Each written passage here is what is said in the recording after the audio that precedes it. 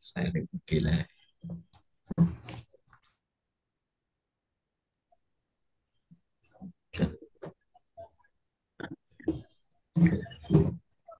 Good evening, Tinku ma'am and everyone. I'm Dr. Hello, Helen. good evening, Garima. Yeah. Ma'am, my video is not working, so I'll say sorry for that. It's not working for Zoom app actually. So is it That's okay? okay. My slides Uh, will be are live. Yeah, Okay, fine. thank you. Okay, good good evening, friends, and welcome to this seventh webinar from the uh, team ARC AIOS. Today we are going to have a uh, webinar on posterior segment challenges for the anterior segment surgeons. I'm uh, Dr. Tinku Bali, who is our member ARC North, is going to be the moderator in main. I would be just complimenting to some extent with her. I, I, I take this opportunity to thank our expert panel, Dr. Raja, Dr. Sai Kumar, Dr. Arul Mozivarman, and Dr. Vinay sir for agreeing and consenting to be a part of our uh, this particular webinar, as well as all the speakers whom subsequently Dr. Tinku Bali is going to uh, introduce one by one. Uh, Dr. Tinku, Dr. Anand Pangarkar sir is senior, amongst the senior most pe- person. As we don't have Dr. Arul Mozivarman, we can have him as a chairperson, as an expert panel for the whole of the session. Hmm? Okay, So, thank you. Welcome, sir. Yeah. You can go ahead. Okay. So, um, as you know, this webinar is uh, on the posterior segment challenges for the anterior segment surgeons. And we do hope that this webinar will give a middle ground where both anterior and posterior segment surgeons can come together and reach a consensus on the common clinical conundrums and challenges that face us all. So, we'll be dealing with conditions that are complications of cataract surgery and also conditions that go hand in hand with a cataract uh, you know and which a cataract surgeon should be wary of and should take into consideration when doing surgeries. And we also will be telling you some innovative uh, posterior segment techniques that can be used by anterior segment surgeons. So with this i welcome our faculty our chairpersons the moderators the speakers and all the participants who have logged in, all, uh, all the audience. Uh, to start with, I would like to introduce the chairpersons. We have with us Dr. Raja Narayan, who is a very prolific uh, retina surgeon. He's the Network Director of Human Resources and Director Anant Bajaj Retina Institute, and also Director of the Suven Clinical Research Center. He's also adjunct professor of ophthalmology at the Uni- University of Rochester, New Delhi. So, Dr. Raja Narayan from LV Prasad Eye Institute, Hyderabad, we welcome you. Uh, we also have with us Dr. Sai Kumar. He's again a very expert, a very senior cataract and glaucoma surgeon. He's the medical superintendent and head of cataract and glaucoma services at the Giridhar Eye Institute, Kochi. And uh, he will be here to give us his inputs on how he manages cases of cataract when he has posterior segment uh, issues. Um, we have uh, Dr. Vinay who's the founder director of Synergy Eye Care in New Delhi. Uh, not only is he a very proficient and a very expert vitreoretinal surgeon, but he's also a very, very adept cataract surgeon. So I think he would be the right person to give us perspectives on both sides of the coin and you know give us uh, very good tips on how to manage posterior segment challenges. Um, we have Dr. Anand Pangarkar with us, who uh, is one of very senior uh, retina surgeons. And we welcome him and uh, thank him for having to agree to chair the session with us. We also have a very stellar panel of moderators for the debates that we have at the subsequent, uh, you know, subsequently after the talks. So we have Dr. Ramandeep Singh, Dr. Rajendra Prasad, Dr. Manish Tandon, Dr. KP Kudlu, and Dr. Harbans Lal, who is the president of the AIOS. So uh, before, uh, uh, without much ado, now I would invite our first speaker, Dr. Thirumalesh MB. Uh, Dr. Thirumalesh is a translational scientist and a vitreoretina consultant at the Narayan Nethralaya in Bangalore. And uh, he would be talking to us about cataract surgery in a diabetic patient. So over to you, Dr. Thirumalesh. Uh, thank you, Dr. Tinku, and uh, thank you, Dr. Prashant and the ARC for this opportunity. I hope uh, you guys can see my slides. Yeah. Mm. How do I make it full screen? Mm. Oh yeah. Sorry, out of touch with Zoom. So, uh, so my topic is uh, cataract surgery in diabetic patients, and uh,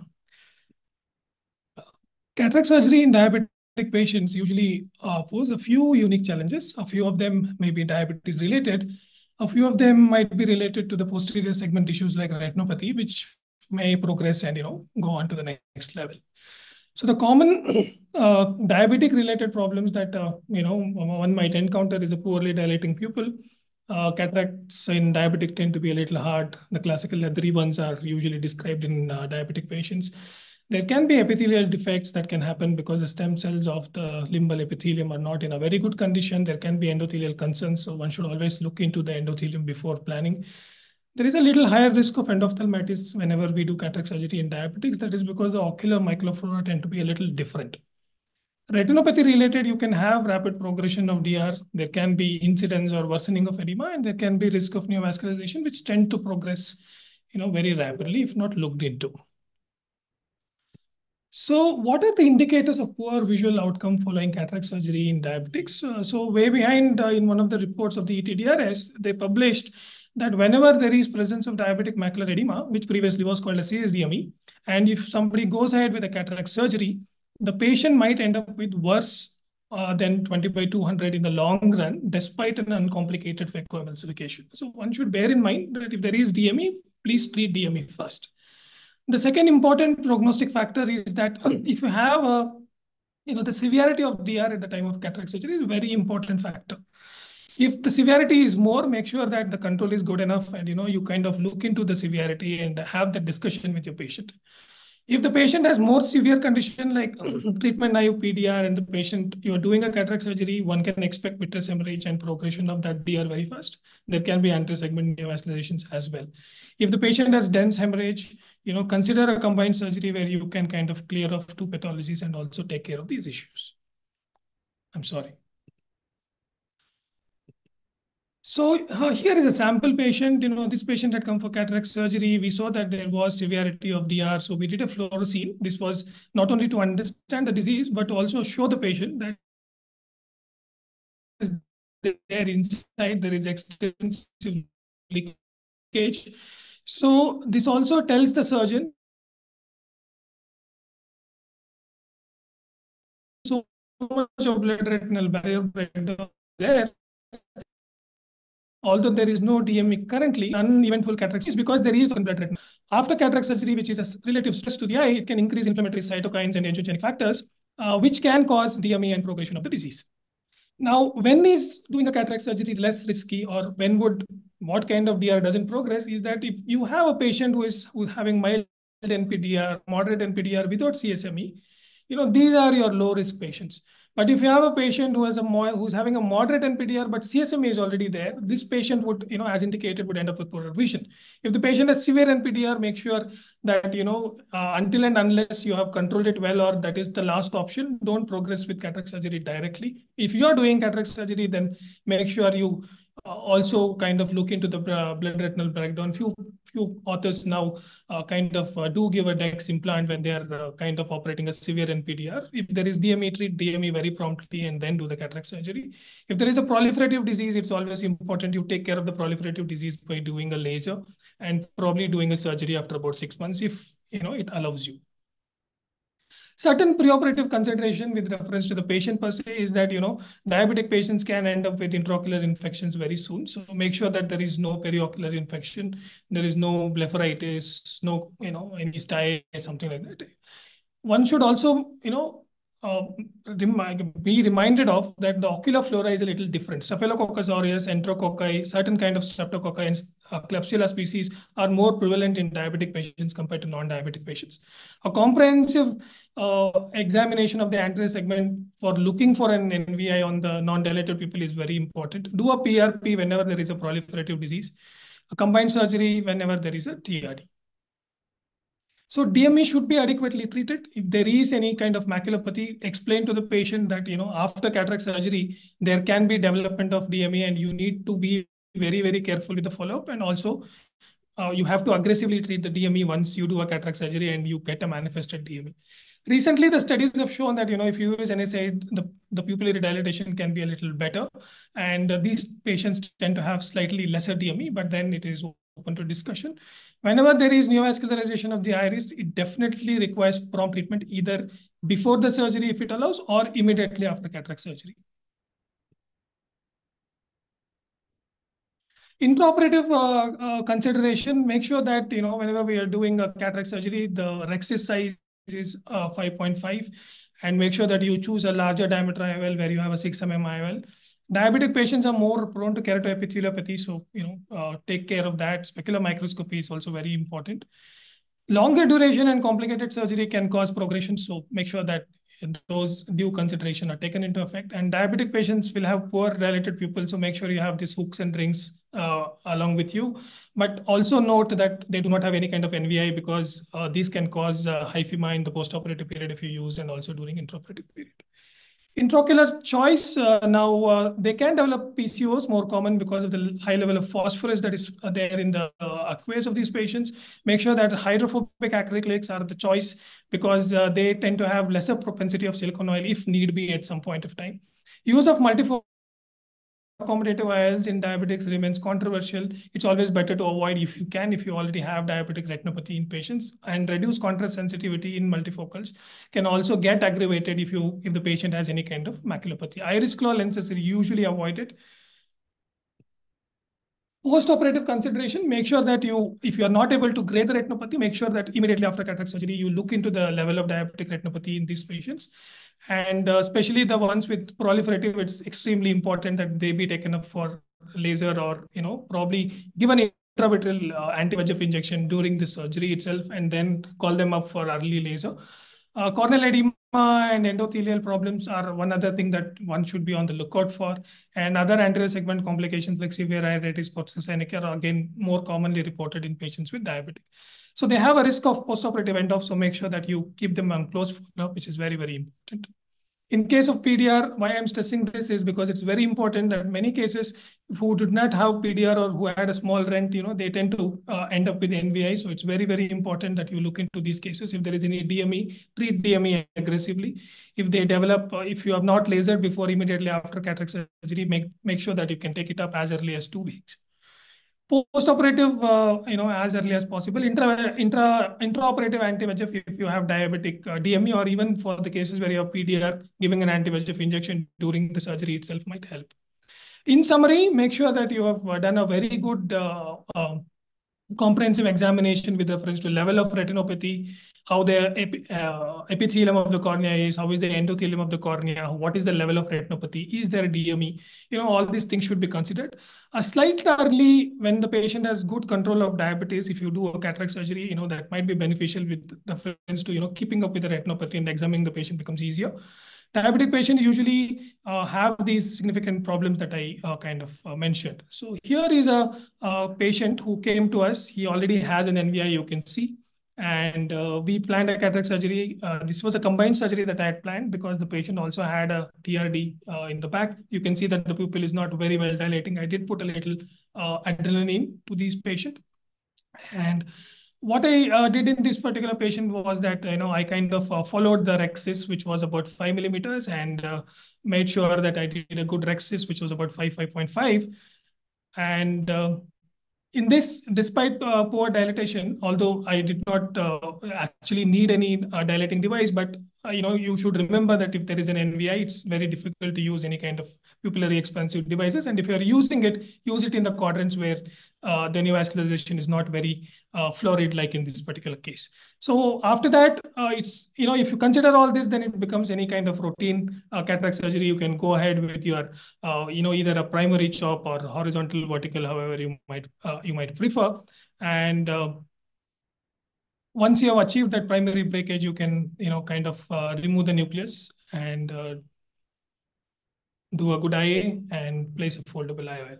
So I think the rest of it I will not probably go ahead and show because uh, it, it's a talk for another day. Uh, so I hope that uh, during cataract surgery, we kind of uh, uh, look into all this and probably help our patients uh, get better vision. Thank you very much.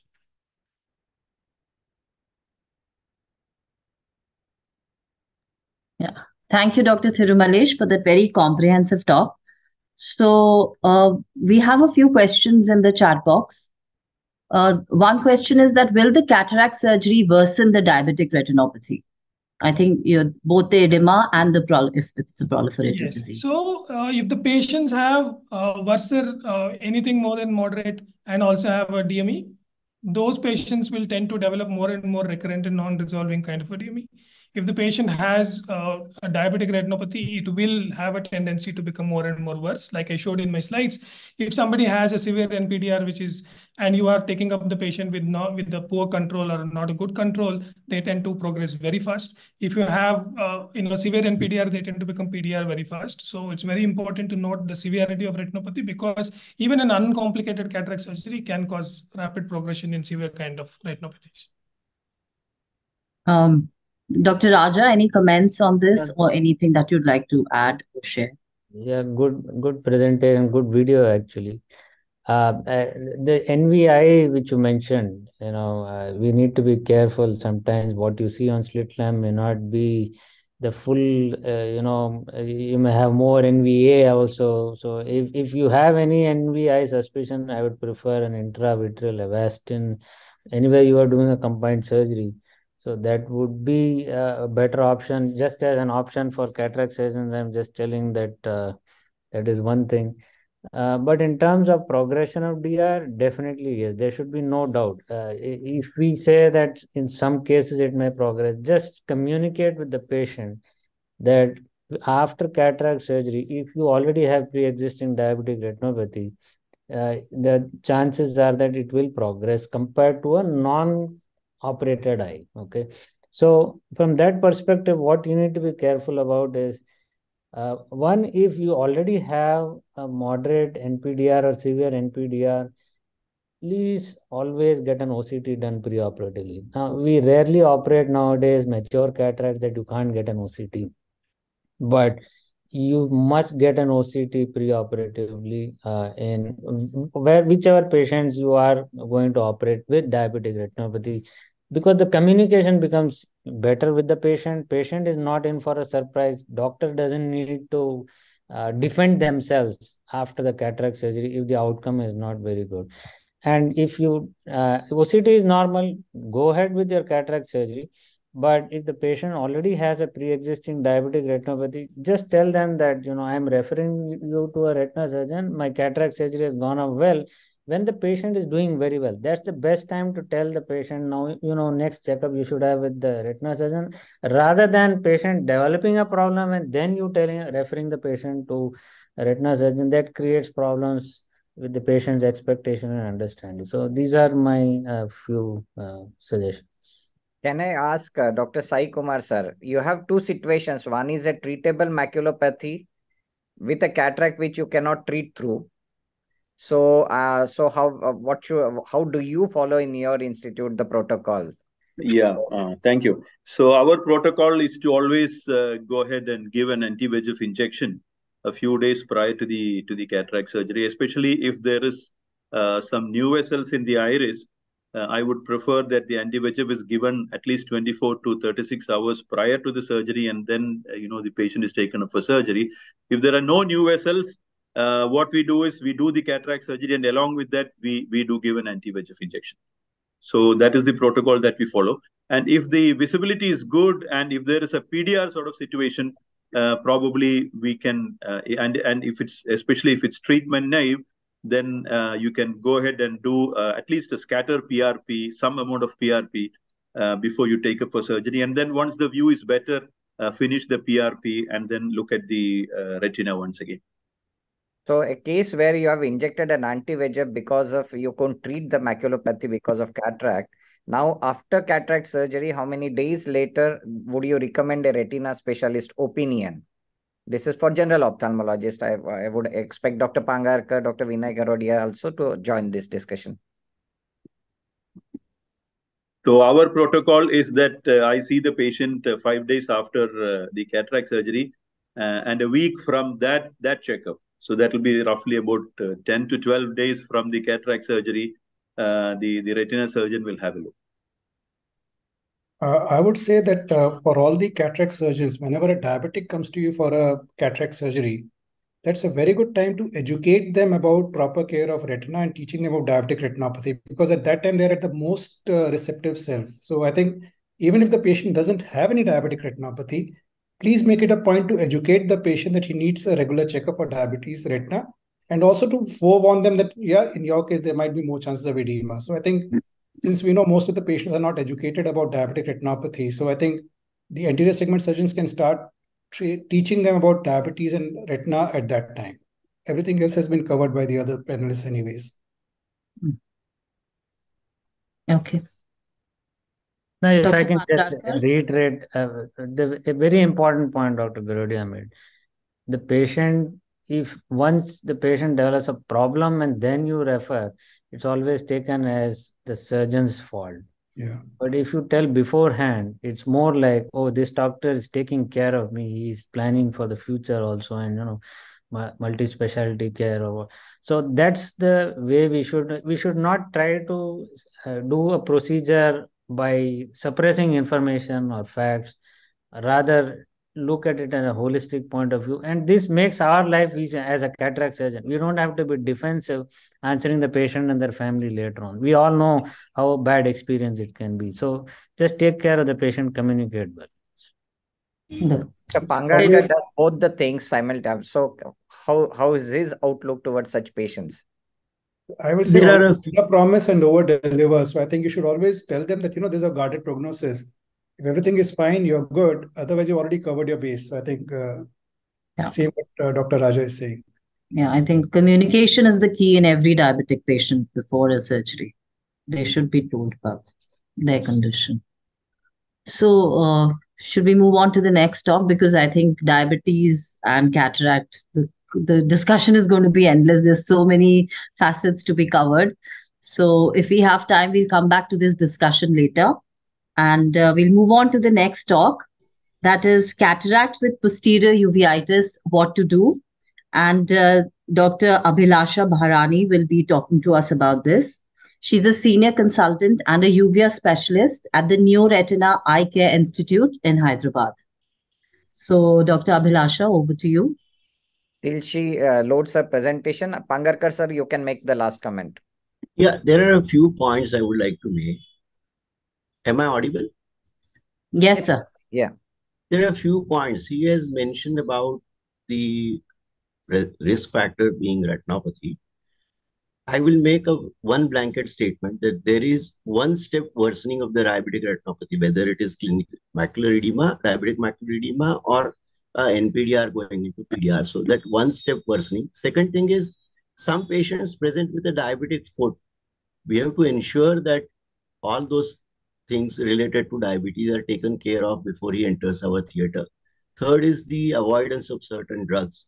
And fourth thing is I've burnt few finger uh, my fingers in a few cases where I injected uh, anti-VEGF along with the cataract surgery. In case you have any problem, then you can your chances of landing it with endophthalmitis are more in case you do a simultaneous injection. Thank you, sir. Thank Dr. you, sir. Abhilasha. Thank you. Uh, good evening, all. I thank AIOS ARC team, Dr. Prashant and Dr. Tinku Bali for this kind opportunity.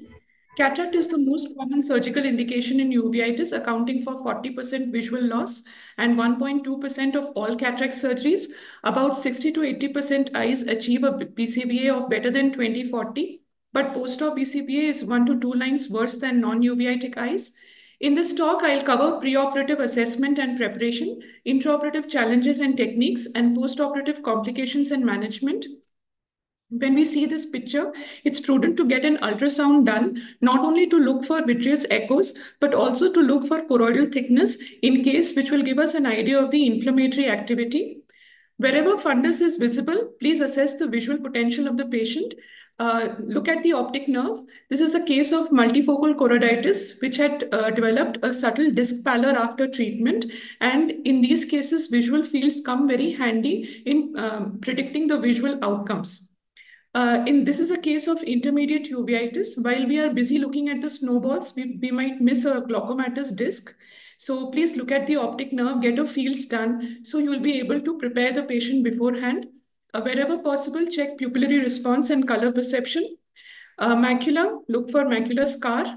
Wherever possible, please get an OCT done. Look for CME, ERM. You might even see a full thickness macular hole uh, behind a dense vitritis. Uh, risk factors of post-op uh, hypotony. Uh, now, hypotony is more difficult to manage than IOP spikes. The indicators are intraocular pressure less than 6 millimeters of mercury, even when the eye is quiet, seclusion pupil with normal IOP.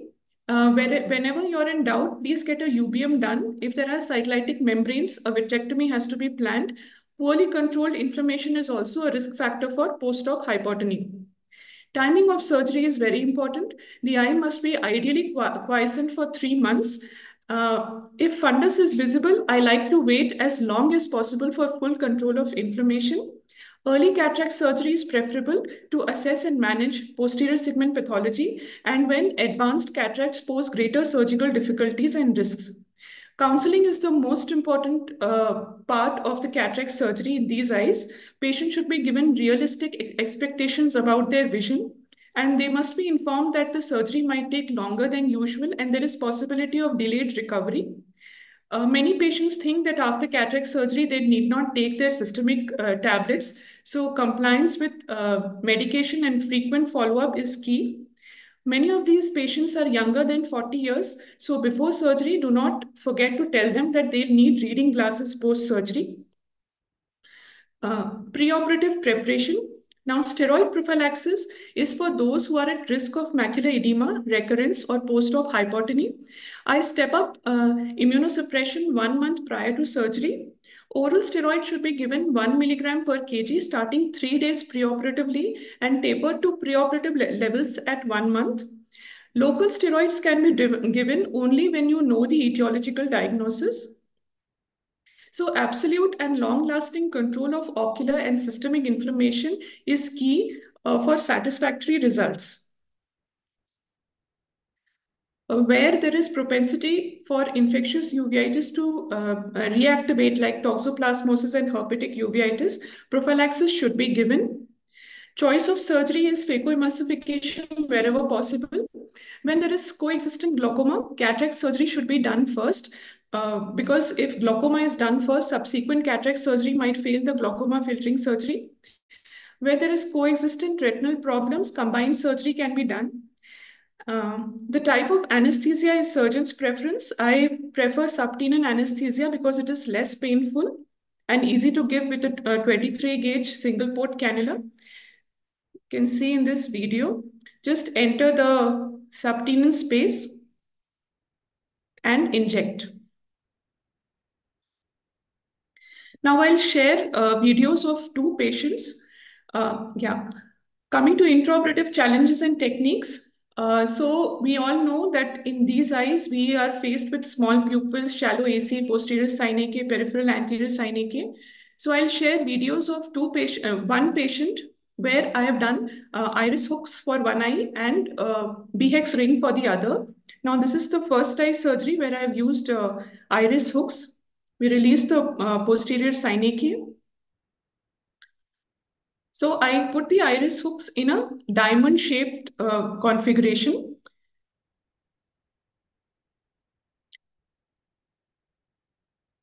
So iris hooks should be inserted and tightened sequentially. You need not make a long tunnel. So diamond uh, configuration, unlike square configuration, it's easy to do the surgery because there is no tenting of the iris.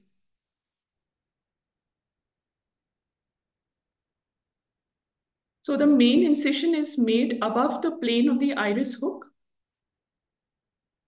And phacoemulsification is routine. The other important thing uh, is to remove the viscoelastic thoroughly from the bag because leftover viscoelastic can itself lead to post-op uh, inflammation.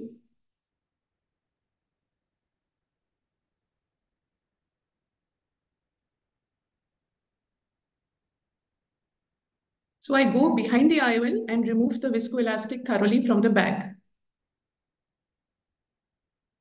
I'll show some complications of iris hooks.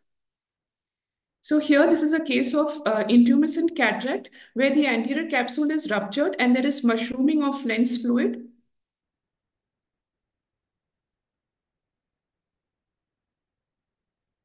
As I said, uh, when you have a square configuration, uh, the tented iris uh, tends to get, uh, get damaged with uh, instruments. And here the iris got damaged with the chopper. And throughout the surgery, there is bleeding from the iris.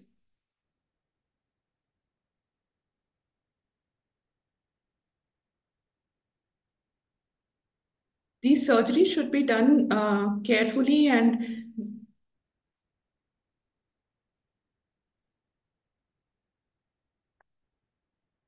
Be careful while removing the iris hooks. Here, a tag of the iris is pulled out while removing the iris hook.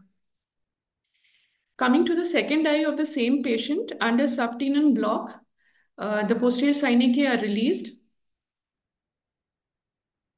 Stretch pupilloplasty is essential when we are using BHEX ring. Inject viscoelastic in the anterior chamber as well as behind the iris. Now, BHEX ring is a device which has flanges with engaging holes.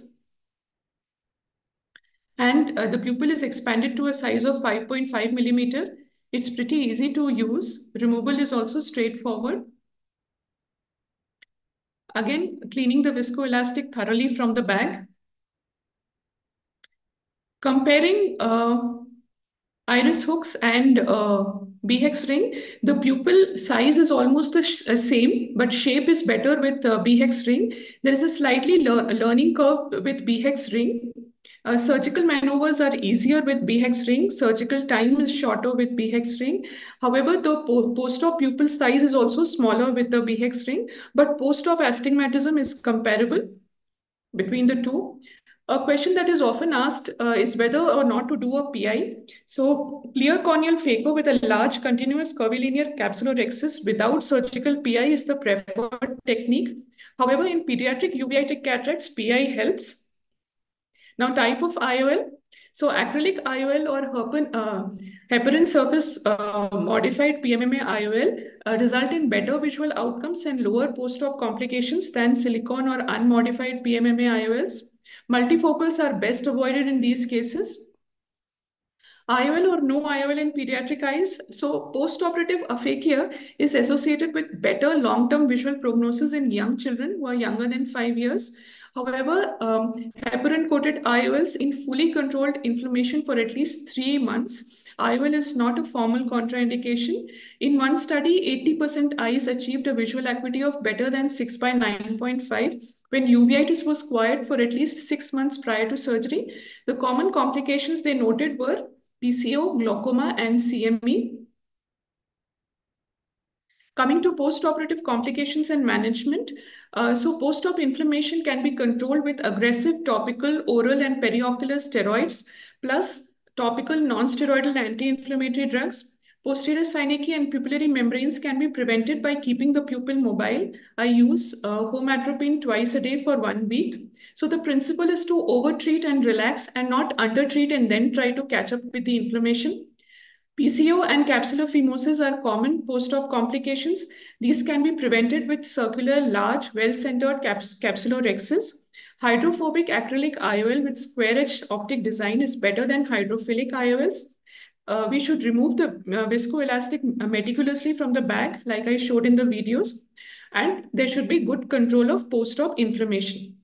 Post-op CME is the most important complication so the incidence of CME in uveitic eyes with well-controlled inflammation for more than three months is comparable to non-uveitic eyes.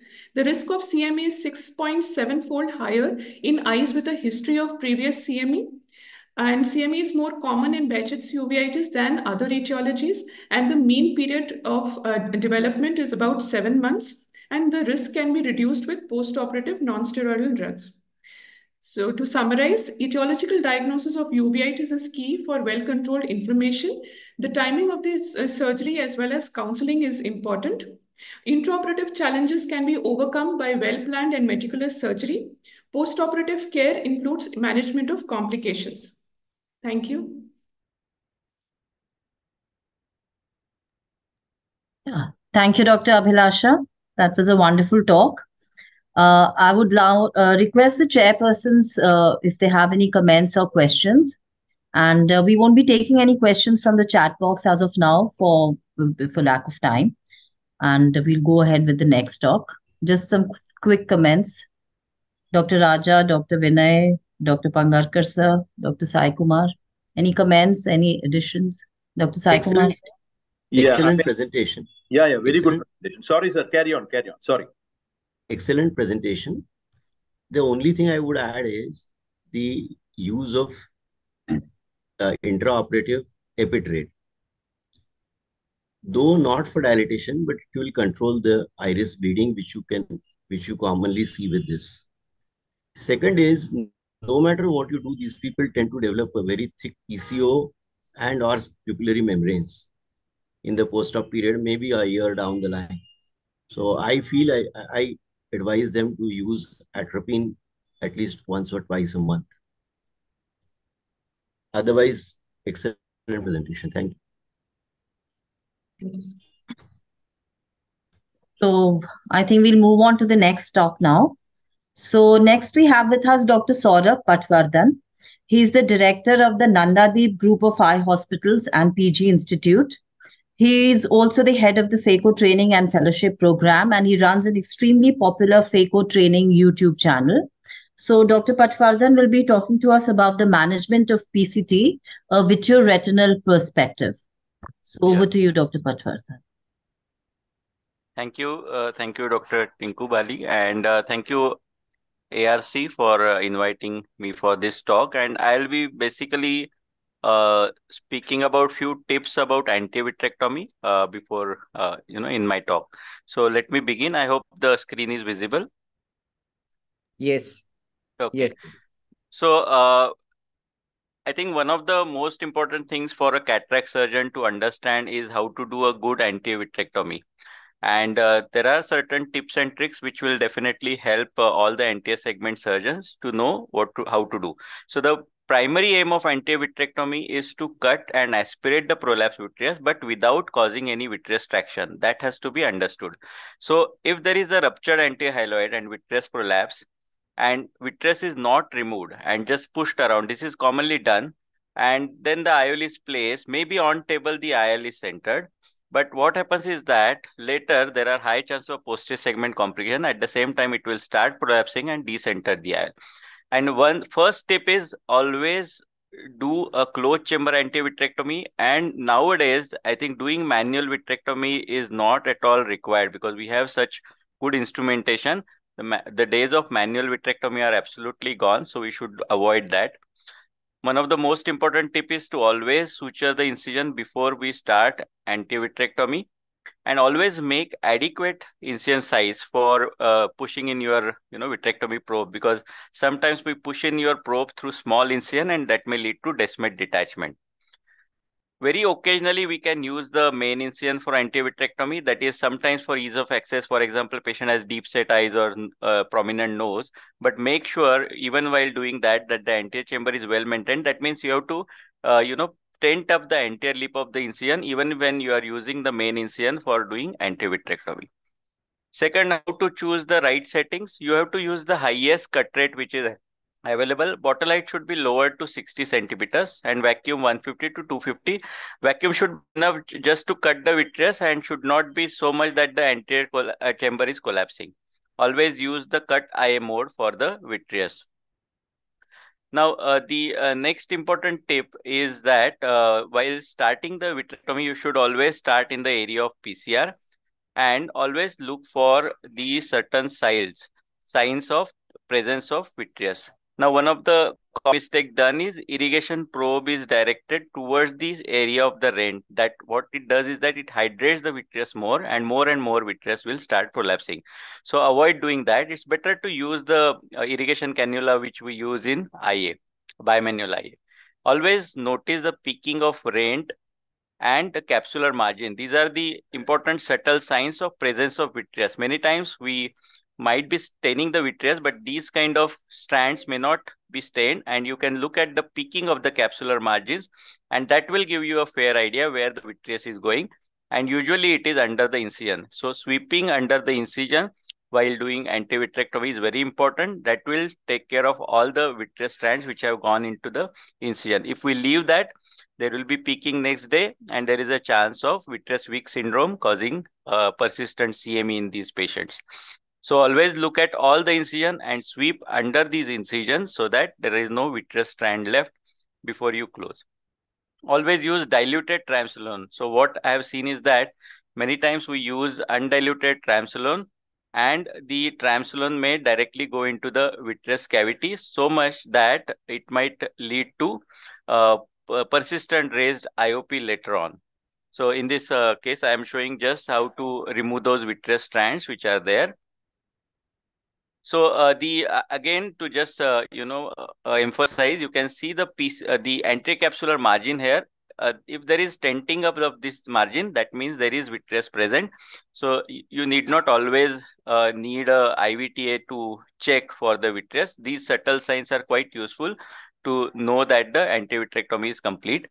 Also, pupillary margin, when you put maybe Miochol or pupil constricts while doing antivitrectomy, watch for this contour of the pupil. If there is any notch seen, you you can see that the vitreous strand is there and you can remove it by cutting. Again sweeping under the incision as i said is a very essential before we end up. Even after putting IOL you can see that before i end i am just checking under the incision to look for any vitreous strand which is trapped again i am just uh, showing that after uh, many times after doing the vitrectomy and IOL insertion if we put Miochol or pilocarpine, it, it is useful because that avoids any uh, remnant of the vitreous. So always, even if you are sure that there is no vitreous, you can use that. Now, uh, this was the point which I was uh, emphasizing again. Don't use undiluted triamcinolone because many times we end up injecting more into the vitreous cavity and patient may have persistent post-operative IOP rise. So generally we dilute it, say 1 is to 2 or 1 is to 4. This is just to stain some vitreous so that you know where the vitreous is lying. So don't push too much of IVTA. Now, while doing cortex removal, you can use bimanual IA as well, which is simpler once you have cut all the vitreous. But if you are using vitrectomy probe itself, you have to be little careful because these have sharp edges. Another thing while removing cortex removal is that once you aspirate, don't lose the grip of the cortex. Otherwise, the cortex may drop down. So always keep the aspiration on once you have, uh, you know, taken out the cortex from the uh, back. Uh, using uh, vitrectomy probe as a, you know, aspirator, it's very important to be careful for while, you know, going near the anterior capsular margins because you might tear them and if you tear the anticapsular margin or you cause zonular dialysis, there might be a difficulty in putting IOL in the sulcus.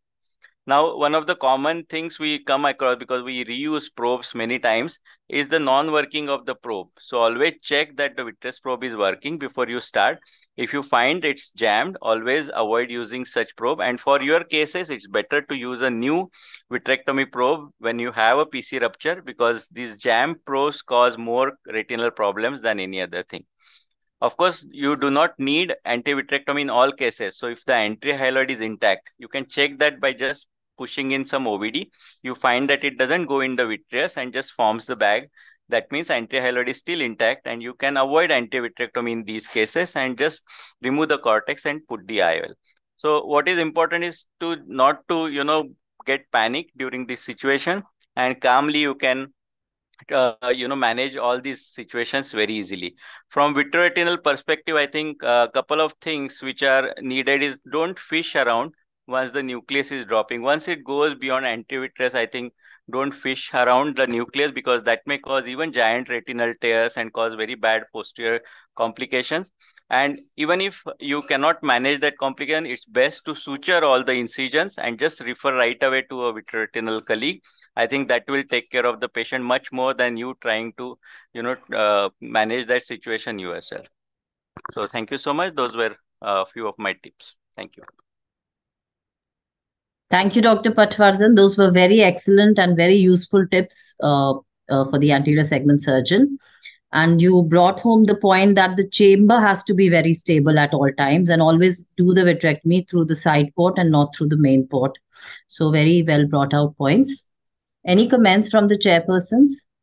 Anything that you would like to add? Very nice uh, presentation with so many case scenarios, so many cases that you showed. Excellent. And all the points are extremely valid. Uh, I would say that uh, cutter, we as retina surgeons are uh, very, very used to it when you said that, you know, uh, don't use it sometimes because it can rupture the PC. For us, it's not a sharp edge. We work near the retina, we segment membranes along the surface of the retina. But I would say it's a useful tool because uh, if you find vitreous and you are not having a cutter at that time, you are aspirating the cortex with a, a regular IA. Uh, and if there is vitreous, I think cutter is always a useful option because you switch on the cutter on mode and just uh, do it with the vitrectomy and then you can aspirate in cutter off mode also. So that, uh, other than that, I would say, you know, the the cutters which we use are like, you know, let's say 25 gauge is 0.5 mm, 23 gauge is 0.7 mm. So they're, they they can easily go in through the side ports uh, which are made. But excellent tips, wonderful surgeries which we saw. Yeah. He was talking about the cutter which anterior segment surgeons have with their anterior segment machines. So I think that's yeah. yeah no, the, even the 23 gauge he, he had mm. 23 yeah. gauge, and the tip is uh, you know the tip was not sharp, so the tip is uh, is reasonably okay. Yeah. Actually, uh, one point I want to make is okay, there are modes into uh, various cutting machines. If you go on, uh, first is uh, you put on the fluid, second is IA, and third is cutting so once you go on paddle 2 mode where it works as an IA, cutter you can use as an IA. The moment the vitreous comes, you go to paddle 3, cut the vitreous and again switch on to uh, mode 2 where you can use this cutter as an IA. So you need not, this uh, cutter will work as a bimanual aspiration system rather than a vitrector. So you can use either, but you should know about your machine. And if you put the machine like Alcon machine, you have first uh, uh, as uh, fluid, then you have uh, aspiration, and then you have cutting. So if you go on to this mode, then your life will be very easy managing these cases. I would go one step further because when you're having this kind of a mode, you're always scared if you're trying to get more aspiration, you may suddenly go into the cutter mode. So better is if you have a machine which has a cutter on off mechanism. So when you have got yeah. a cutter off, then you mm. can go all the way down for aspiration without being fearing that there'll be any cutting happening. Um, now, uh, yeah, now with the newer machines like Alcons, they have a vitrectomy mode where you can shift from directly to cortex mode as uh, yeah. Dr. Vinay was saying. So you need not use the IA cut mode, but you can go to Cortex mode and then again come back. I think that's the best. Yeah. But that's, that's uh, most of the machine do not have uh, all the modes. So I think we have to make best of out of whatever we have. Other thing what I would say is that you know these things happen once in a while. And when, when a PC rent happens, your adrenaline levels are very high. You are already very tensed up. So it's always a good idea that you have mock drills in your OT, the way we have mock drills for a uh, code code blue or CPR. So everyone should know what exactly to do at that time, and without any verbal signals, just by your sign signals, you they, they can set up the vitrectomy machine for you because you don't want to be creating a scene in the OT at that time. So it is very important to be prepared in every case and have a dedicated place where all the equipments are present. So everyone can just in, immediately set up a vitrectomy setup for you. So you have to have mock drills about this on a regular basis since there is so much uh, so much of the retina surgeons also present here, I would just like to have uh, an open discussion or your, your, your comments on because there are many people who believe that you know uh, going from behind uh, yeah. would be would be a better option. Uh, you know to avoid more and more vitreous coming out. Uh, you are, you're actually pulling the vitreous into the vitreous cavity rather than cutting it on a, on a parallel plane. So maybe one or two comments, you know, you know, from the VR surgeons there are actually so we have an entire debate on this a bit later. Thank you. I, I thank you. I'm sorry. Yeah. We have an entire debate, so we'll discuss it at that point. And just a uh, small practical tip about the use of TCA. If you want to avoid injecting more TCA and getting into problem, just instruct your staff not to shake the vial before you draw your TCA. So what you will get is the supernatant fluid, which will be just adequate to delineate the vitreous and not excess, which will go into the vitreous. Second thing is these, Dr. Saurabh did a very good job, but it is important to note that there are many situations where the anterior segment surgeon is doing anterior vitrectomy with the help of that uh, anterior vitrectomy mode in the phaco machine. So there the cut rate won't be so high and it will be a less responsive machine.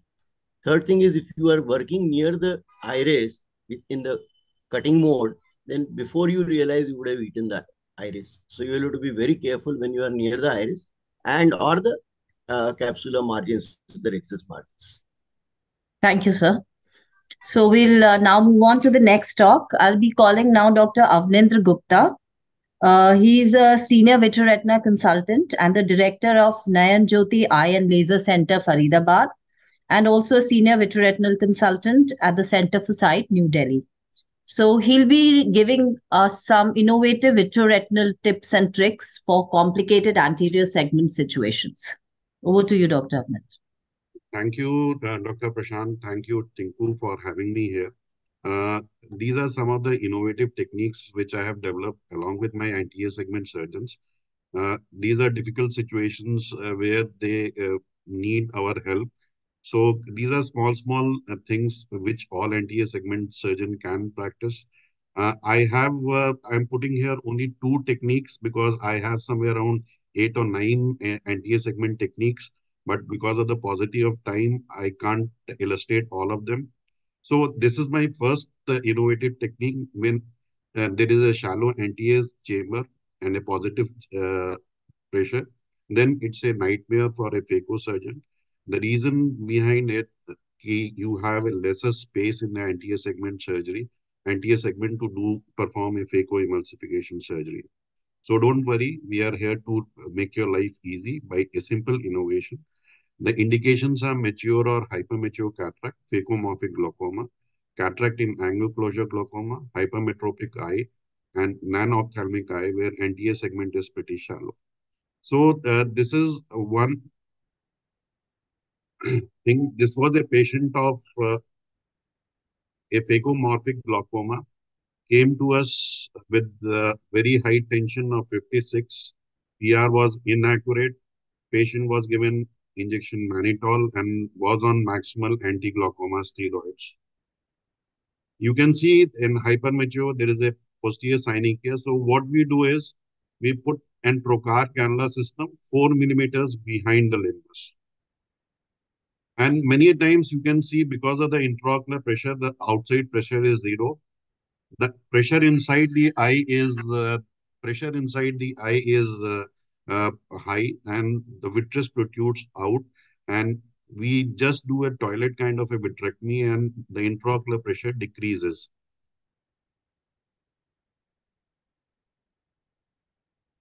So uh, once the pressure is decreased, what we do is we make a clear corneal tunnel. Uh, since the pressure from behind is less, the chances of extension of uh, rhexis is pretty less.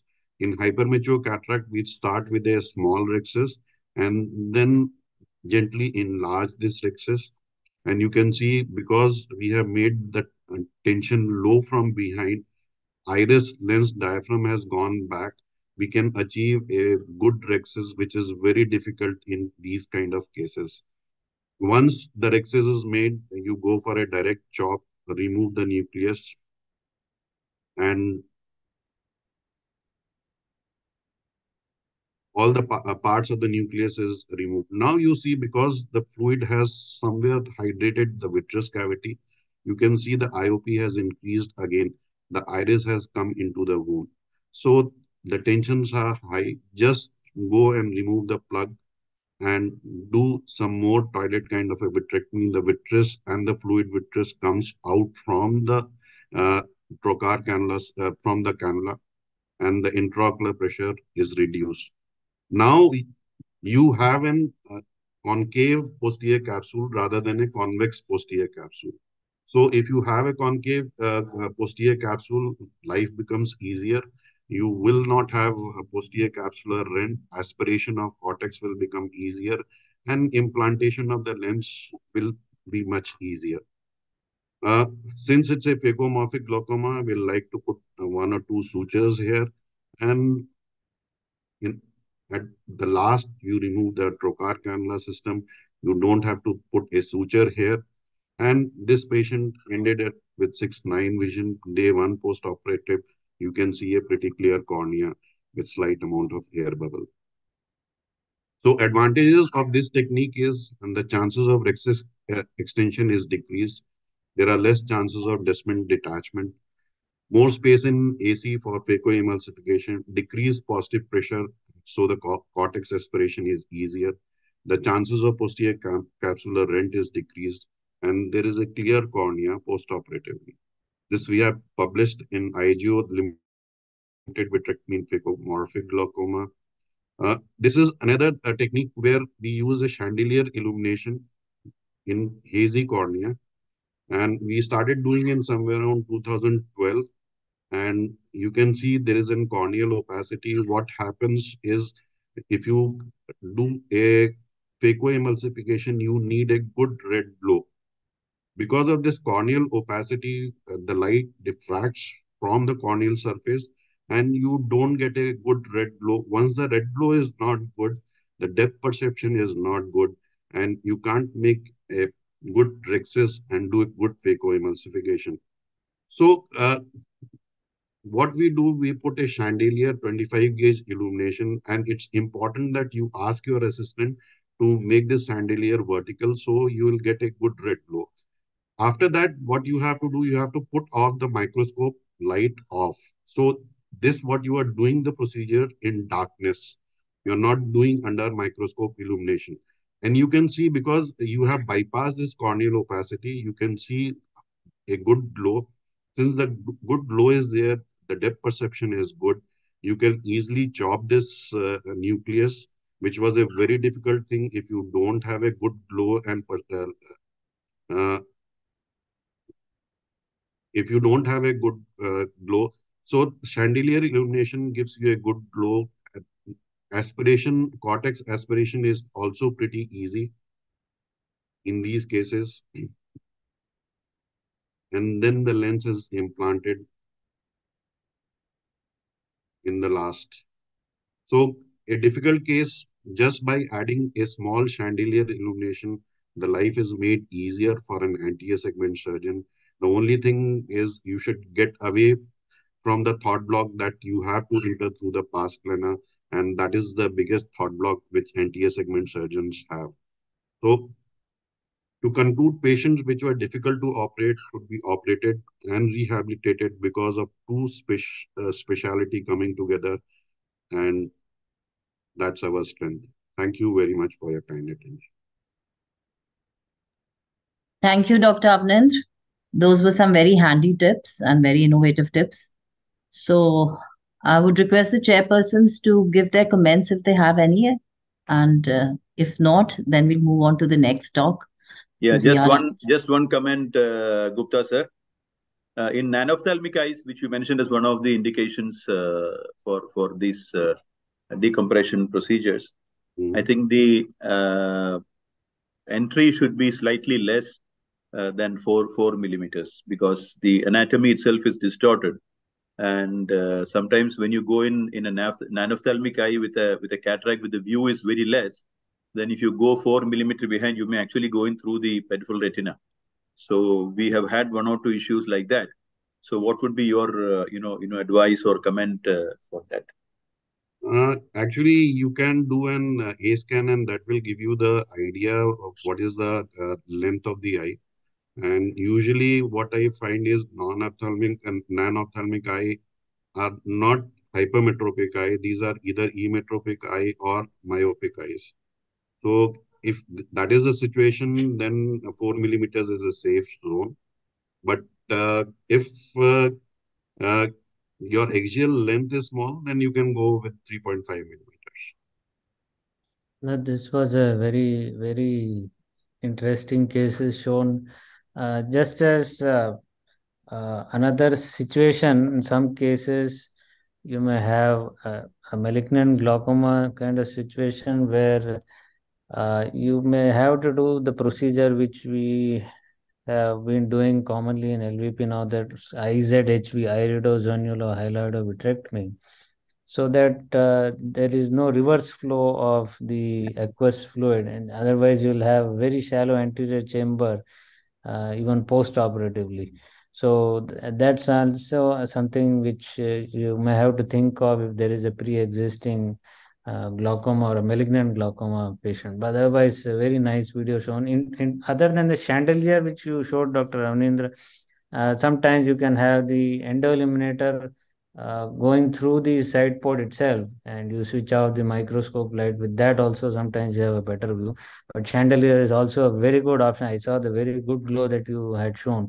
You won't get that kind of glow with the endoilluminator but still an option in case of corneal opacity. One uh, quick point is that uh, while doing with the chandelier illumination you have to ask your assistant to make it vertical. Uh, many times it becomes horizontal and then the shine comes into the lens then you won't get a very good blow. So the light should point towards the retina, not towards the lens.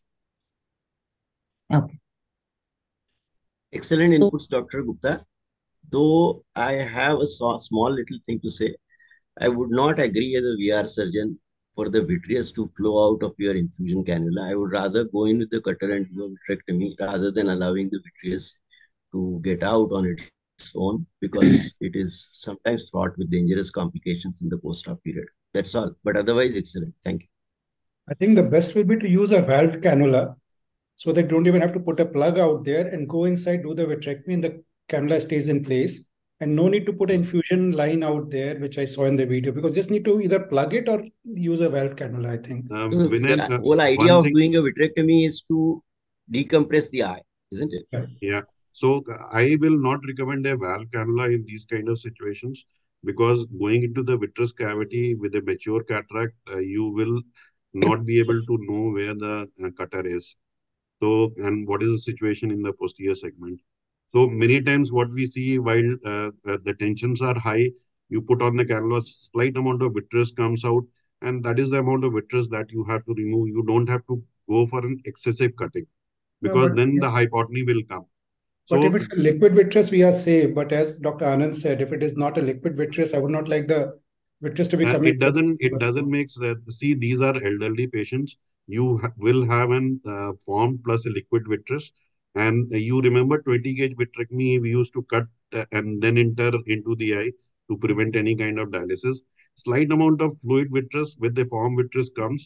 And we have been doing uh, this procedure for pretty uh, eight, seven to eight years down the line. And uh, till date, we have not uh, had any complications in terms of retinal detachment or bleed in the vitreous cavity. Okay. So thank you, Dr. Avnind. With that, we move on to our next talk, and we have Dr. Prakash V.S. Uh, he's the medical director and head of the Vitreoretina services at the Comtrust Charitable Trust Eye Hospital, Kozhikode, Kerala. And he will be speaking to us about the inflamed eye after cataract surgery.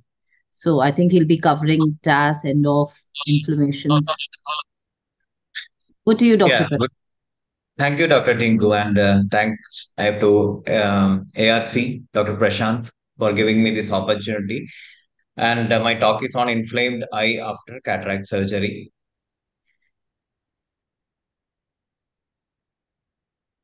Yeah, so normal day for a cataract surgeon is of a happy one where his patients are happy, the doctor is happy. But then one day this happens with the red eye.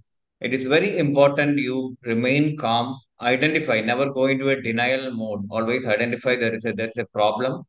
Identify, try to identify the cause by careful clinical examination and a tailored workup of the patient, and uh, try to uh, manage the problem. So post-cataract surgery, inflammation is not um, very rare, 0.1 to 2 percent uh, in, in reported incidents. It can be acute when it can be either endophthalmitis, toxic anterior segment syndrome, anterior uveitis, or it can be lens-induced uveitis or scleritis.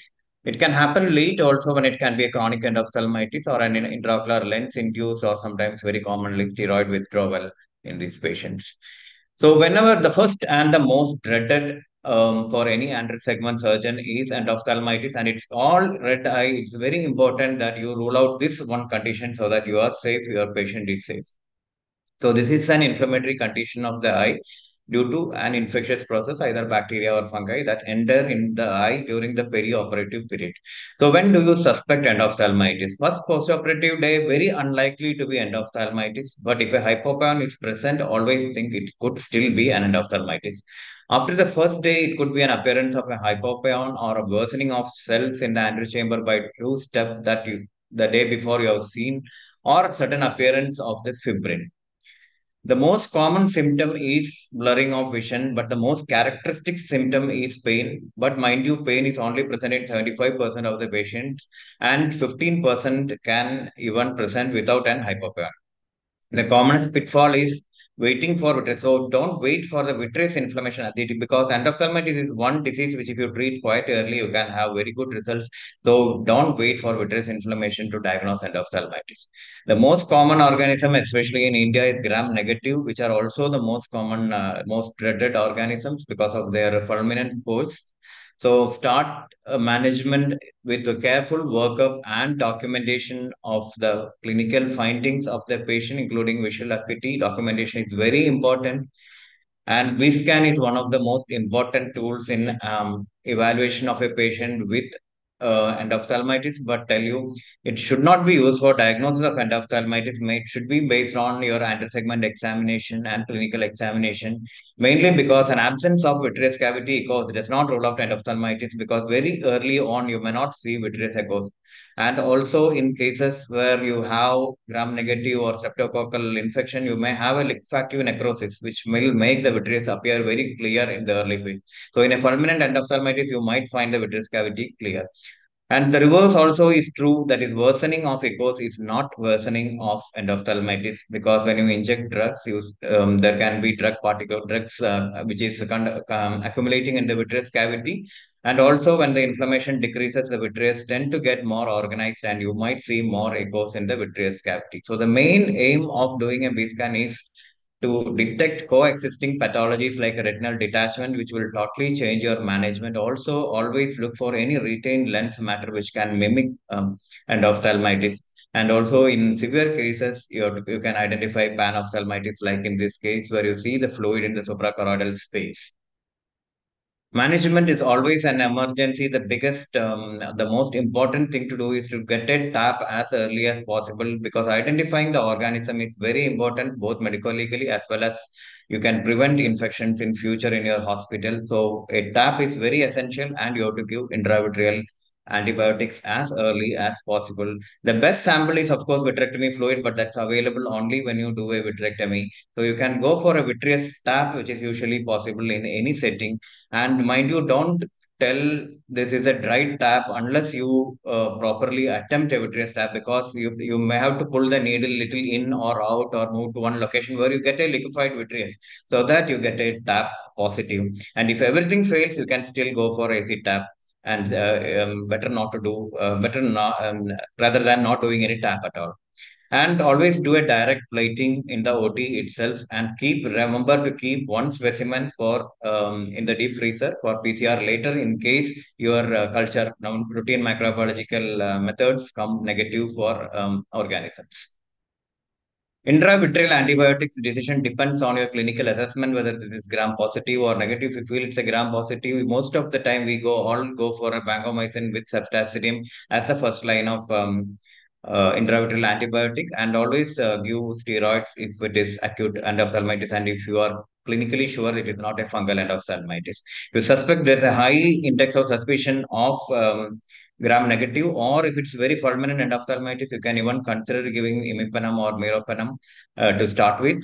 Corneal infiltrates, um, fulminant endophthalmitis happening within three to four days, all give the clue that it could be a gram-negative organism. And if you have suspicion of fungus, you can go for voriconazole intravitreal injection and clindamycin for anaerobic um, uh, organisms if you suspect. And uh, vitrectomy, when to do in endophthalmitis is, um, if it is a fulminant endophthalmitis, better to go for early vitrectomy because the damage to the eye is more often done not by the organism, but the toxins, the endotoxins that are liberated, especially gram-negative organisms. So Intravitreal injection only addresses the organism, but it does not take care of the toxins. So you have to do a vitrectomy, and also it helps to remove all the vitreous opacities, assessment of retina, and also you will have a better yield of organism. So never hesitate to refer the patient to a vitreoretinal surgeon if you feel it is a very bad endophthalmitis. The next most common um, um, pathology that is uh, confused with uh, endophthalmitis is the toxic anterior segment syndrome, which is actually an inflammatory response to a non-infectious substance introduced into the eye during surgery. Many causes have been mentioned like IOL contamination with heavy metals, BSS containing endotoxin, viscoelastics, intracameral antibiotics that have been used, enzyme residues, even ETO residues in uh, many of the packs, sterilized packs. And many times you don't identify a cause differentiating endophthalmitis from TAS is very important. TAS usually happens much earlier than endophthalmitis, usually 12 to 24 hours after the surgery. And pain is not very severe as compared to endophthalmitis in uh, TAS. And uh, the corneal edema is the most important. The limbus to limbus uniform corneal edema always point to in favor of a TAS rather than endophthalmitis. Endophthalmitis, you can have infiltrates, especially if you have gram-negative organisms. And the presence of fibrin, vitreous cells, or hypopyon is more in favor of an endophthalmitis. TAS management, definitely, even if you're sure, better to do a vitreous tap because uh, doing a vitreous tap is not going to do any harm. So you are safe medical legally. So do a vitreous tap, rule out endophthalmitis, and mild TAS you can always manage with systemic and uh, topical steroids as well as NSAIDs, usually with good results. But severe TAS, whatever you do, they, you may end up with persistent corneal edema, dilated pupil, and uh, sometimes severe iris atrophy. The other common mimicker of endophthalmitis or inflamed eye is the recurrence of a preoperative uveitis that was before. And um, in, inadequate control of inflammation before the cataract surgery is the most uh, common cause. You should have a minimum three months of re remission in if there is a pre-existing uveitis before you take up for cataract surgery. Perioperatively, always high steroids and uh, intraoperative iris manipulations. If you have done, then there is a high chance of it being a uveitis recurrent rather than an endophthalmitis. Also, keratic precipitates, broken synechiae, small pigmented cells, fibrin, all favor more towards of more, more towards a recurrence of uh, preoperative uveitis than an endophthalmitis. And you can restart the steroids, preferably in a parenteral route, IV dexamethasone or prednisolone. Lens-induced uveitis can also present as an inflamed eye, can happen two weeks to one year after cataract surgery and the nucleus matter nuclear matter many times it goes uh, when especially when the patient is moving their head during surgery and all it can go under the iris or into the vitreous cavity and the nucleus has more tendency to cause uh, chronic inflammation rather than more than cortex. So the management involves a good indirect ophthalmoscopy. If you suspect nuclear matter, then always try to find the matter where it is. Do a gonioscopy, UBM or B scan, and if you find, manage to find the uh, particle, then do a surgical removal, and that will take care of the problem. Late onset um, endophthalmitis is again one more problem, mainly by the slow growing organisms like um, P. acne, staph epidermidis. Um, this cause low grade inflammation, decreased vision is the most common symptom. The presence of plaques in the posterior capsule is the giveaway sign. If it is present, you are almost sure it is P. acne. And the PCR will be required because these organisms usually don't grow in uh, culture. So you'll have to do a PCR because these are low virulent organisms. And we can manage initially these cases with intravitreal vancomycin, but most of the time it will require IOL removal with vitrectomy to control the disease. And lens-related um, issues also can present as an uh, late uh, inflammation, mainly when you have put a single piece IOL into the sulcus. Um, it can touch on the iris and cause iris chafing and a low-grade inflammation. And always beware of mimickers like masquerades, especially malignancies, lymphoma, and lens, lens matter whenever there is a lot of fluffy cortical matter in the anterior chamber. Triamcinolone uh, that has been given during the surgery can also mimic an hypopyon chronic retinal detachment that is present and which was missed before the cataract surgery and uh, retained PFCL, all these can mimic uh, a red eye. So to, to conclude, always whenever you face a red eye, think calmly, avoid denial, you always accept there is a problem. Explain to the patient, talk to the patient, and it's important to roll out endophthalmitis. And if you decide not to inject or not to do a tap, please document why why why that decision was made, why you favored in favor of a uveitis rather than endophthalmitis. So it is very important uh, document the documentation part. And even if you uh, have a high suspicion of being innovative, you better err on the side of give, doing a tap and giving an intravitreal antibiotic. It's not going to do any harm. And in fulminant cases, always refer to a VR surgeon for early vitrectomy. Thank you. Thank you so much uh, for your talk, uh, Dr. Prakash. And I think the last point that you said about documentation is extremely important. So whenever we need um, so the chairpersons, anything that you would like to?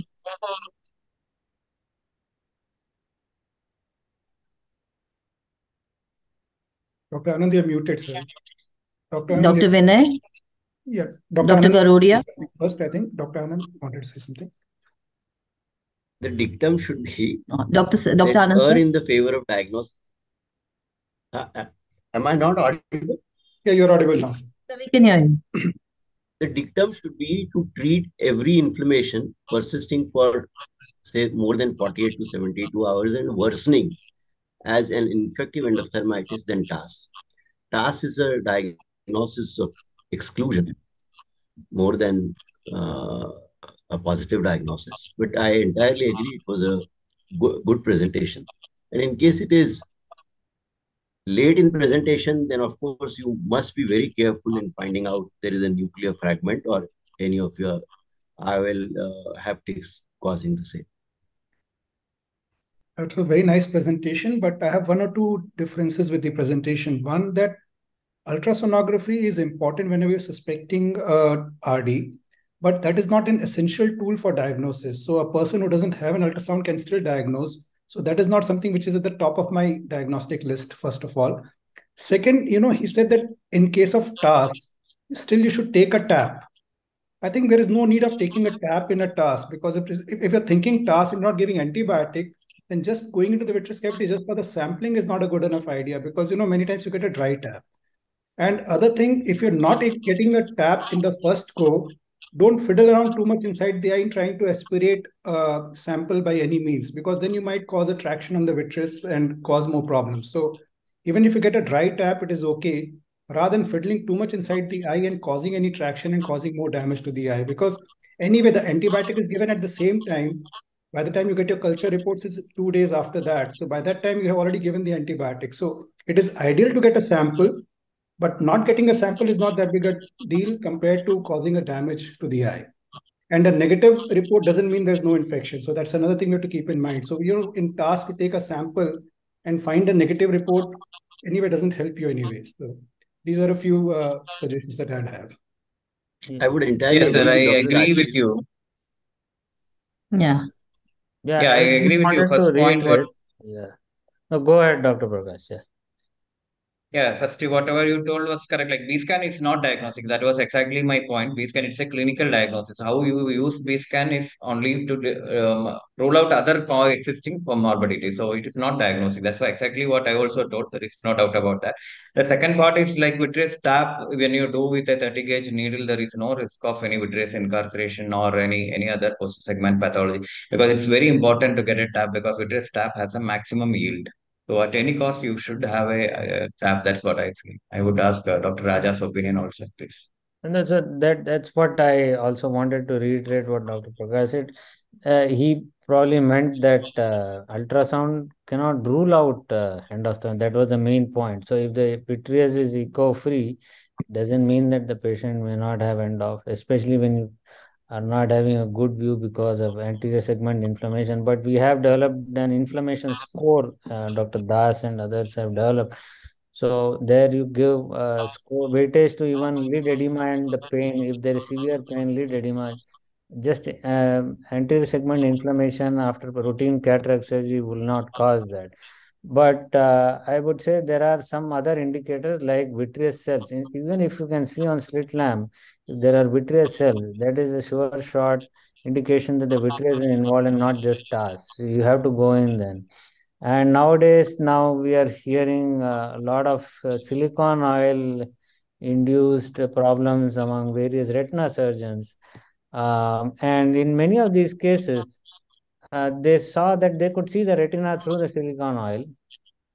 uh, but there was vitreous uh, retinal hemorrhages, there was vasculitis. So these are also some of the very early signs of endophthalmitis. So if you see a patient uh, of retinal hemorrhages, uh, even though the patient had uneventful cataract surgery, there is some vasculitis, there is some vitreous inflammation, then it is an early sign of endophthalmitis and you must act immediately in this. Thank you. So with that, we'll move on to our next talk. So we have Dr. Sachin Mahuli. Uh, he is the director of the Netra Darshan Super Speciality Eye Hospital at Belgaum and he'll be talking to us on cataract surgery post retinal surgery. So, what are the problems and challenges in this scenario? Over to you, Dr. Mahal. Hi, good evening, everyone. Thank you, uh, Tiku Madam and uh, Prashant sir, for giving me an opportunity to share my views on this topic. Um, I'll be speaking on cataract surgery post retinal uh, surgery. This this proposes a unique challenge. Uh, my slides are moving; they're visible, I think, right? Yes, yes, Sachin. Yes, sir. so this pro this uh, particular situation, you know, brings us in a difficult situation, including pre pre-operative workups, intraoperative problems, and post-operative problems. We'll discuss one by one what we have to look into and how to go about it.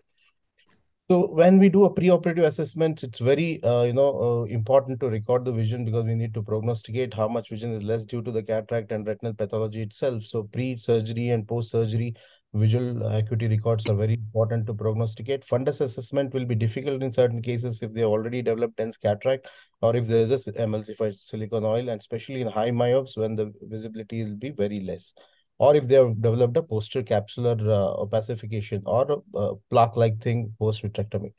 Biometry is a bigger challenge. Uh, we'll come to that a little later. Silicone oil in the anterior chamber also will hinder the visibility of the retina and, you know, uh, management of the uh, cataract later on.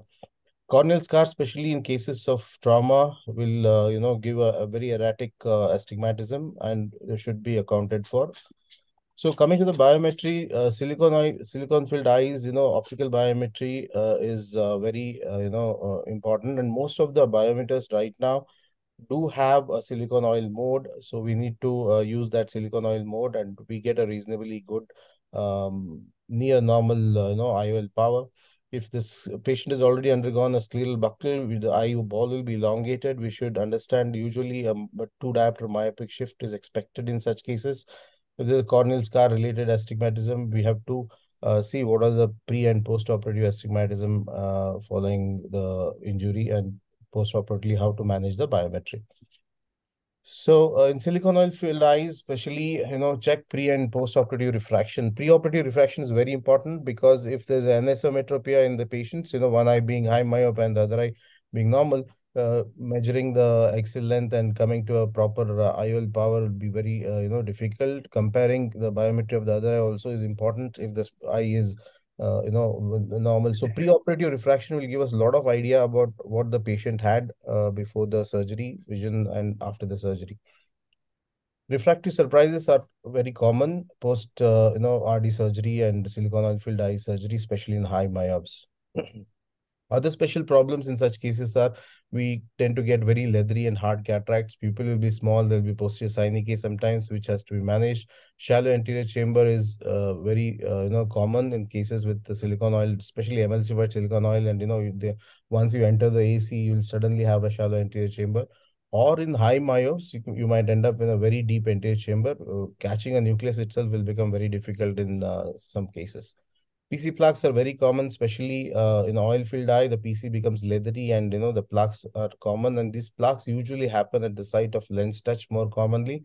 Otherwise, also even if there's no lens touch, PC plaques are common in silicone oil-filled eyes. So coming to the intraoperative problems, uh, as we all know, these pupils may not dilate quite well uh, if there's a uh, aggressive postoperative inflammation or if the emulsified oil itself is causing an inflammation. So the iris could be stuck to the lens. So we might to use uh, rings or hooks to dilate the pupil. The rhexis may run away in intumescent cataract because the lens gets hydrated very commonly in uh, cases because of the weak zonules and you know uh, pre-existing PC dehiscence all these can lead to intumescent cataract. So rhexis runaway is very important. We should keep in mind, especially in the mature cataract. Leathery cataracts are very difficult to remove, chopping, emulsification. So you need to follow a particular technique wherein you do uh, multiple chops into small pieces so that your phaco energy used is less and you can, uh, you know, protect the endothelium frequently. Weak zonules post-buckle and post-vitrectomy are very common. So uh, sometimes while doing IA or uh, irrigation aspiration or even while doing phacoemulsification, you might notice a zonule, a weak zonules in certain quadrants. You should be aware of these conditions and manage accordingly by a ring or whatever possible at that situation. Lens touches are usually documented by every vitreoretinal surgeon so that when the cataract happens, they uh, it will give a very important uh, uh, you know PC dehiscence uh, clue to the intersegment surgeon to, so that they don't end up in a drop in oil filled eye or a post vitrectomized eye. So this has to be documented by every retinal surgeon if there's a lens touch in, on table so that uh, managing later will be very easy and we can plan it. Hypotony is a very peculiar problem in some, some cases wherein a high myop post silicone oil removal, uh, the vitreous is not there, the globe is completely filled with uh, you know, the uh, saline. So in such cases, the hypotony is very common. Getting the lens to the to the probe and making a very good tunnel in such cases will be very difficult, you know, very challenging. And you also tend to get deep ACs uh, in certain cases of high myopia. So there is one more syndrome which we usually notice is the when when the so the fluid enters the posterior chamber and causes sudden shallowing of the AC. So these things have to be kept in mind uh, in such cases. So this is a case which I'll show a quick video. You know, this was completely emulsified oil. Uh, presented uh, with the total emulsified oil in the anterior chamber. Such cases, you can just start off by doing a good wash. You should always remember when you're doing the wash, there is more oil which will be coming from the zonules. Basically, these oil bubbles come from the zonules. So the, you should be aware that these things can happen intraoperatively again, despite of having a good AC wash and uh, managing. Always keep checking the intraocular pressure when you're doing AC wash because these are the cases wherein the fluid will enter from the zonules and behind the, it goes to behind the uh, posterior chamber and sudden shallowing is known. So other, other uh, you know, uh, uh, section and tunnel related issues which you'll find always is uh, because of the hypotony, you won't get a proper tunnel. So you need to um, be uh, you use a very sharp instrument, make two to three step tunnels with a sharp keratome. Don't hesitate do not hesitate if you want to suture if the what if the tunnel is not uh, watertight.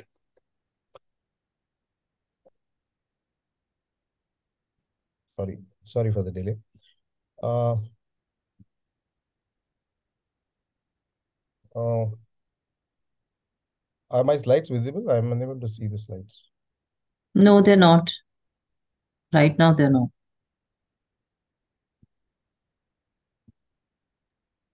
Maybe you can stop sharing and then start sharing once again. That will work.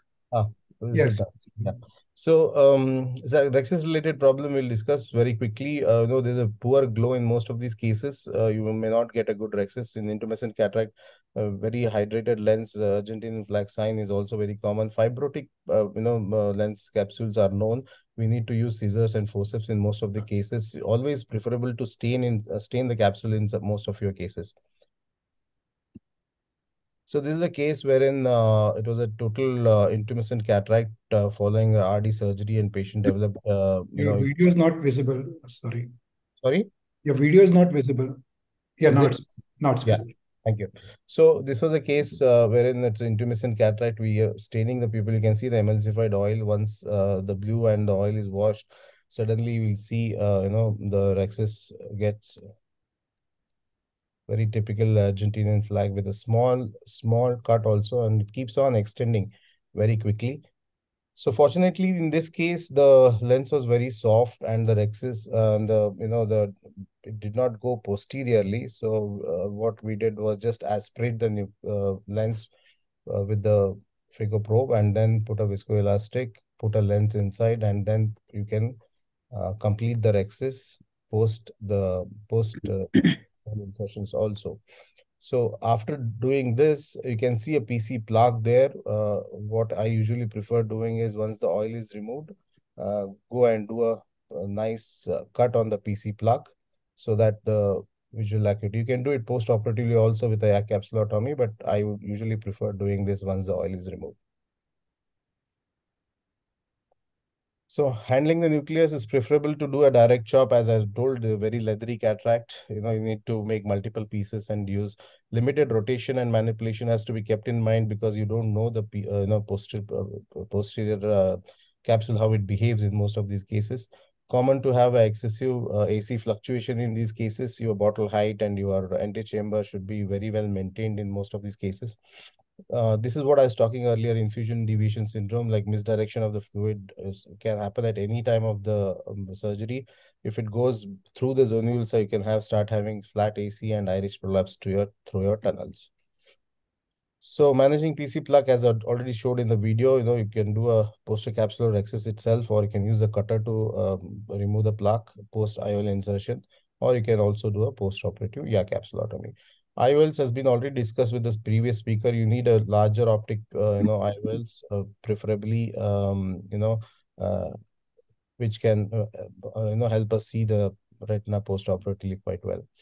Post-operatively, these eyes are very prone for excessive inflammation, posterior synechiae. All these things have to be kept in mind. Uh, you know, we should try to keep the pupil um, mobile rather than put them on cycloplegic and if you have a synechiae later on. Cystoid macular edema is also a common uh, problem post-operatively in certain cases, especially if you have done a diabetic vitrectomy and other cases. Worsening of PDR and macular edema in diabetic, which has already been discussed in the previous talks. I'll not go into that. So just a take-home message is, you know, we should be hopeful, stay calm during surgery, trust your retina surgeon so that you are at peace. Whether, whether whatever happens, you should be able to man manage and be prepared with most of the necessary equipments very handy in such cases like your scissors, forceps for the access. Meticulous pre-operative planning is very, very important in such cases, especially with the biometry. Careful and steady intraoperative procedures are very important to understand and detect the situation in time so that you can manage them in time. Thank you so much. Thank you, Dr. Mahuli. A very comprehensive and an excellently delivered talk. You've covered almost every aspect of uh, the surgery. surgery. Uh, so we'll move on quickly to the next talk since we're running short on time. And our next speaker is Dr. Garima Lakhutia. Trained in uh, Narayan she is now a senior vitreoretina specialist at the Saroya Eye Hospital, Kota. A prolific VR surgeon, she will be speaking to us about the management of pseudophakic cystoid macular edema. Over to you, Dr. Garima.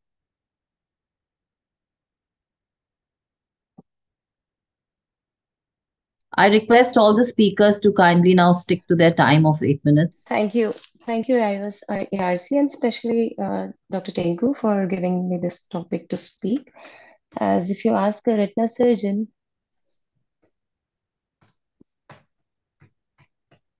no, I cannot move my slides. Yeah, you can see them, right? So if you ask a retina surgeon, then full, full screen. We can see your You are seeing the presenter view. You should go to the slideshow Yeah. view. yes. yeah, okay, okay, okay, okay. Yeah. I'll stop sharing first. Yeah.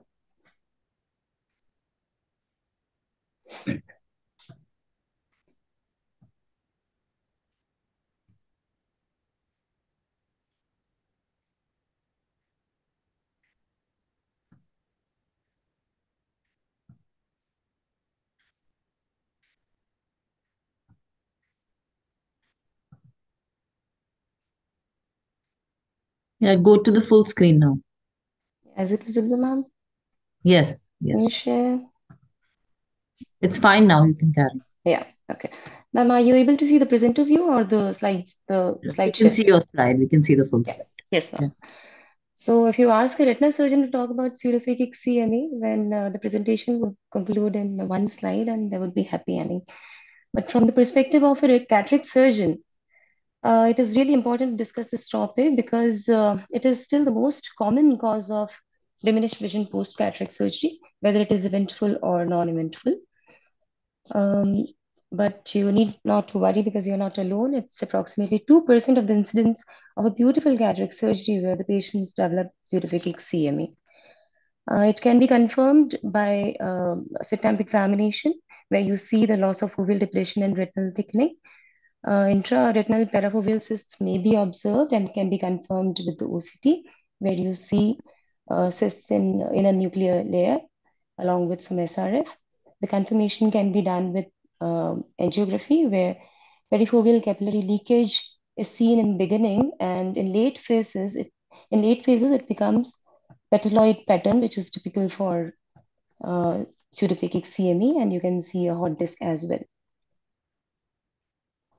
The most important differential diagnosis becomes the diabetic macular edema, but the presence of hard exudates and microaneurysms, along with uh, uh, disruption of ellipsoid zone and more deeper um, uh, layers showing cystic spaces Hi, can good lead evening, boss. to the Sorry, diagnosis. this is ci- bloody civilians, you know.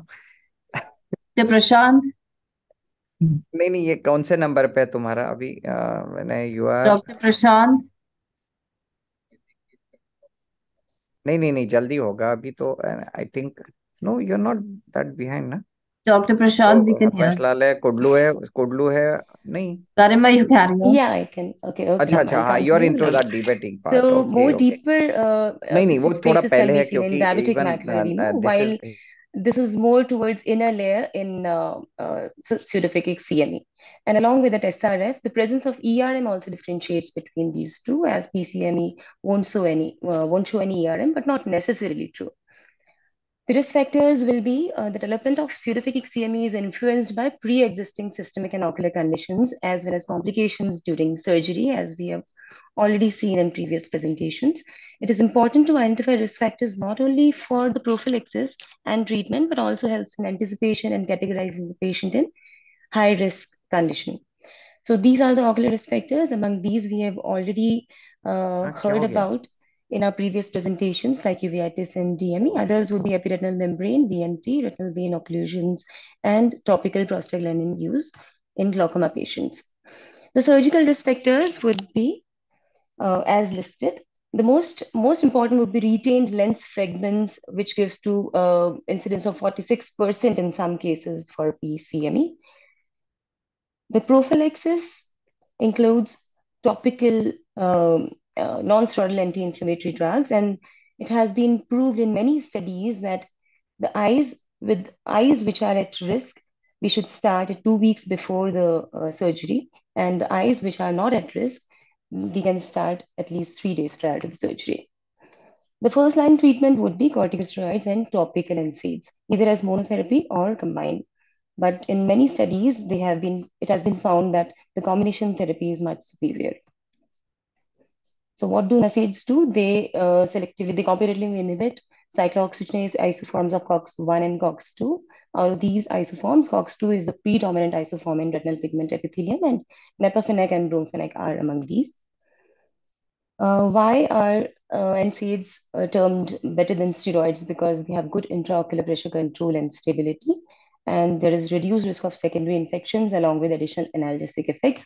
But the disadvantage are also seen, like they are toxic to cornea, um, ranging from punctate epithelial erosions to corneal infiltrates or even melting, which was more seen with generic diclofenac earlier. Along with that, delayed corneal epithelial healing is also seen. So as we have seen that topical therapy gives you gradual CME control uh, over the period of one to three months. So here comes the role of periocular or intravitreal glucocorticoids, which give rapid resolution. There's a picture showing uh, different sites of periocular injections. Here we mostly use sub-Tenon's space. So uh, you can inject 1 ml of 40 milligram of triamcinolone acetonide in sub-Tenon's capsule. This effects last between 4 to 8 weeks and it gives more sustained drug release than topical therapy. But again, there is a risk of raised intraocular tension. In some cases, it has warranted trabeculectomy or other surgical procedures to reduce the IOP. The another important factor is when it happens, the raised intraocular tension happens, it is difficult to remove all of the um, PST, that is post-sub-Tenon's IVT, um, triamcinolone. So uh, we switch to intravitreal steroid injections, which are better in term because um, they are easily easier to remove via vitrectomy and lesser dose is also required. So you inject 4 milligram in 0.1 ml, which is shown to reduce blood retinal break, uh, barrier breakdown.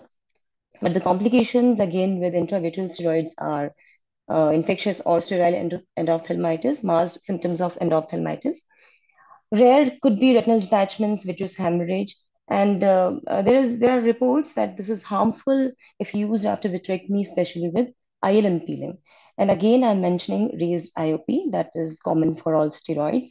So with this, we switch to controlled drug delivery intravitreal steroid implants. Out of these, the commonest is uh, and another is Retisert, which is fluocinolone acetonide implant, which is again used in refractory cases associated with posterior uveitis. It also has good results with suprachoroidal incisions, but again, the risk of endophthalmitis and raised IOP is still there in some amount.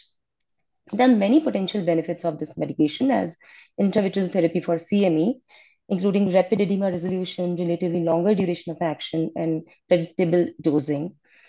But risk of rise of IOP is there, so one should keep in mind that if your baseline IOP is greater than 16 millimeter of mercury, then the eye is at risk for post-injection IOP elevation. Then we come to surgical management. When medical therapy is ineffective in resolving pseudophakic CME, surgical intervention is often the next step.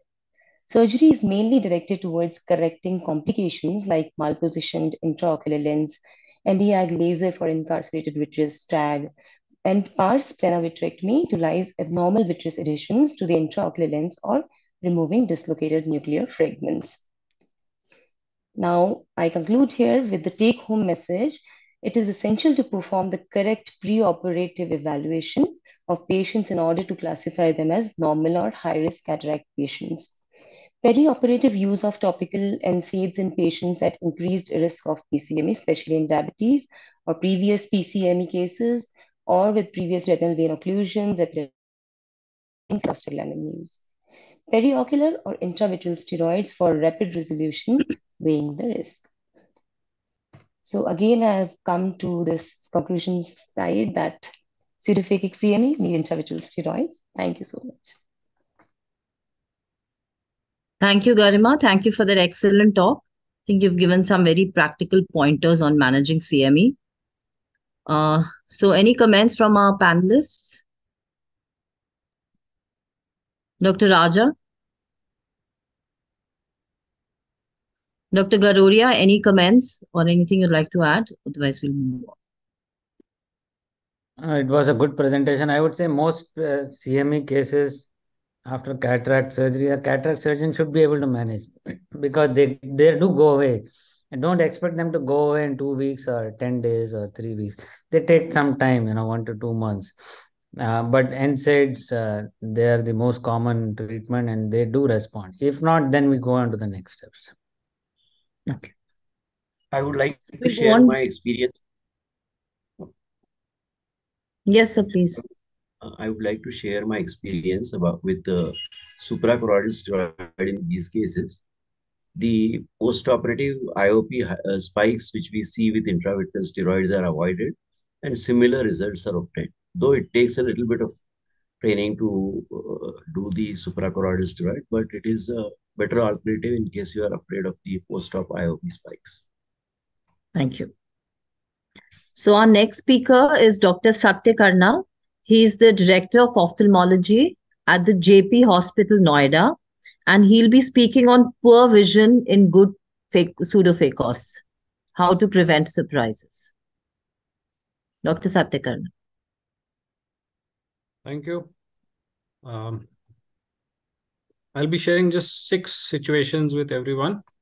I hope my slides are visible. Yes. Okay, so poor vision in good sort of pseudophakic preventing surprises. The first situation is a 63 year old lady who is a villager and she's never used glasses. And uh, we are not sure whether she recovered good vision immediate post op or not. But uh, she complained of non recovery of vision in the left eye after the cataract surgery, and no records were available. Her best corrected visual acuity was plus 2.5 spherical with minus 1.5 in the right eye, which was uh, best corrected 6 by 12. And in the left eye, it was plus 1 with minus 1 at 10, 6, 18. So the left eye was poorer than the unoperated right eye. Ocular movements, uh, there seemed to be a left exophoria. Slit lamp showed right eye cataract and the left eye good pseudophakia, clear cornea, and the PC was clear the normal uh, intraocular pressures and fundus was normal in both the eyes. So we went ahead and did an OCT scan. And as you can see, the RNFL in both the eyes is normal. The GCL in both the eyes is normal. That does not tell us anything. Then we did a macular scan, and it also showed that the macular contour and thickness is normal. So this is the first situation which we uh, suspected amblyopia since we did not have any past definite history and no use of glasses in the past. Probably also along with a bit of strabismus. The second situation is an undetected optic neuropathy in a case of cataract. So it is always a good idea to teach all the uh, optometrists how to do a pupillary evaluation by the swinging flashlight test. In this situation where you can see the left eye pupil dilating on the swinging flashlight test, which is basically a RAPD in the left eye. Especially so because once they get the hang of doing an RAPD in all patients, they will never miss a RAPD in a cataract patient and they will document it on paper and you will be aware that patient has an optic neuropathy and may not get good vision. So you can do surgery with guarded visual prognosis, knowing this before surgery. The third situation I would like to talk about is a patient who is on anti-tubercular treatment with bilateral cataract. His complaints will be gradual, painless bilateral loss of vision over a few weeks to months you have to suspect ethambutol related toxic optic neuropathy also along with the cataract. So a visual field is a must. A central or a centrocecal scotoma that is not explained by the cataract in the pattern deviation definitely suggests an ethambutol related toxic optic neuropathy and you have to discontinue ethambutol, wait for a couple of months and then operate the cataract. Otherwise, you will get a surprise post-operatively. The fourth is IOP spike related optic neuropathy. We all know that there are various methods to prevent IOP spikes in the post-op period. Preoperative Diamox so that intraocular pressure is all right. Mannitol in known glaucoma cases to keep the IOP normal. We have to clear the entire viscoelastic at the end of all the cataract surgery, including from under the lens, and give anti-glaucoma drugs to keep the IOP normal in complicated cases and glaucoma patients. Also beware advanced glaucomatous cupping cases who can develop a macular wipeout post cataract surgery. And silicone oil related cases where recurrent IOP spikes can cause optic disc ischemia too. Fifth, of course, not so common, but uh, still important when a retrobulbar injection is given in a case of a mature cataract or a complicated case an inadvertent injection into the optic nerve of the anesthetic can cause an optic neuropathy. Last, and uh, I would say maybe one of the rarest, a 61 year old male complaining of painless loss of vision in the left eye 15 days earlier. He had an uneventful cataract surgery two days prior to this loss of vision. He was a known case of uh, hypertension with blood pressure spike in the post-operative period as per his own history. But he had no other fever, cough, pain, or jaw claudication, or any other headaches. And he had been started on tab-Wysolone, and uh, with which was now tapering, his vision loss had started improving somewhat, he said.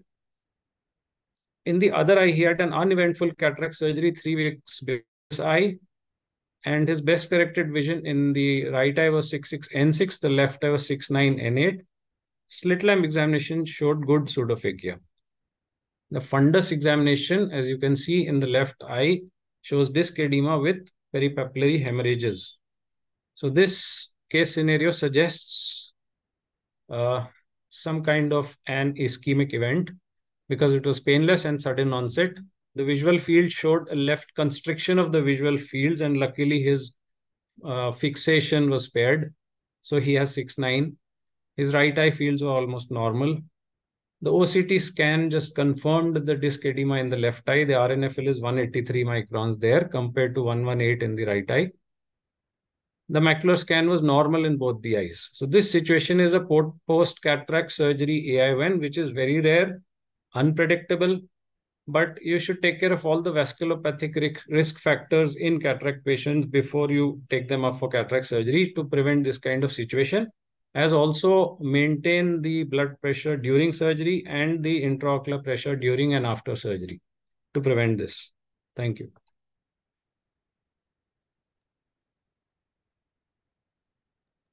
Thank you, Dr. Satyakarna. Thank you.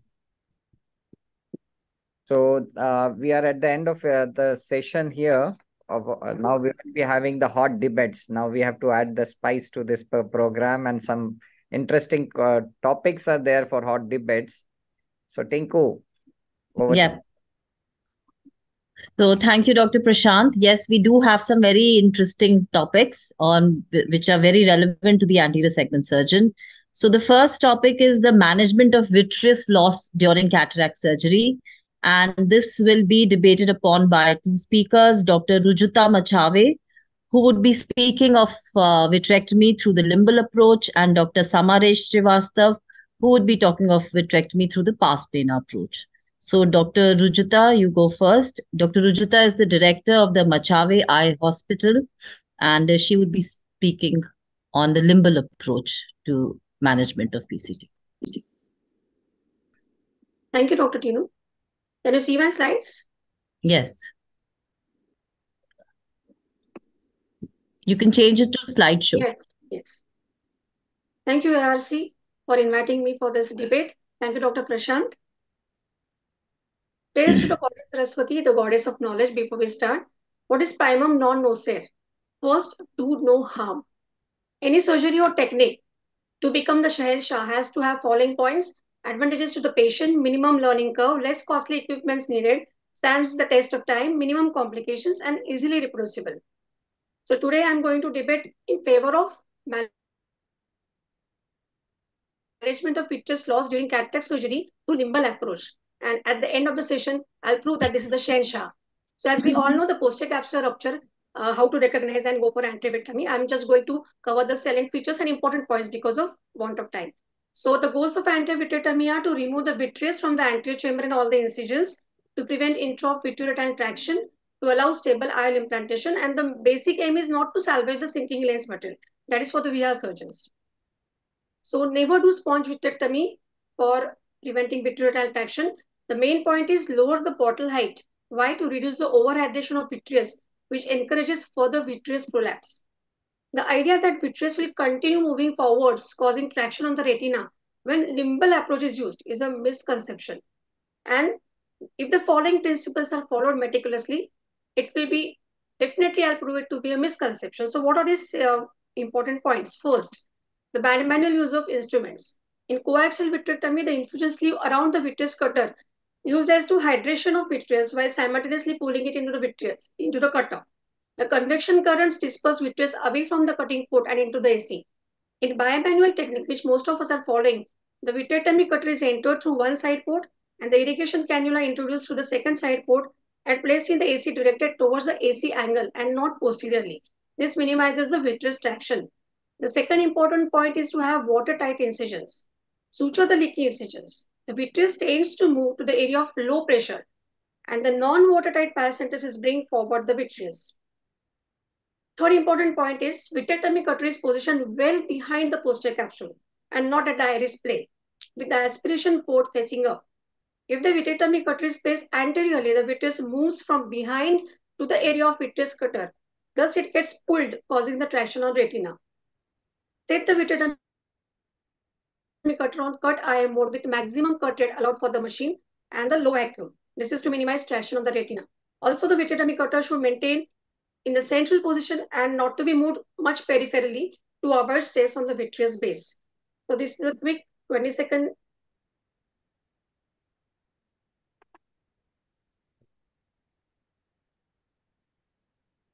Can you see the video? No. It's not playing. Yeah, this is transferred, dye injected, and you can see bimanual technique with vitreous cutter going quite at a posterior plane compared to the irrigation cannula. The irrigation cannula is an anterior plane directed towards the AC angle. You can see the aspiration port facing upwards.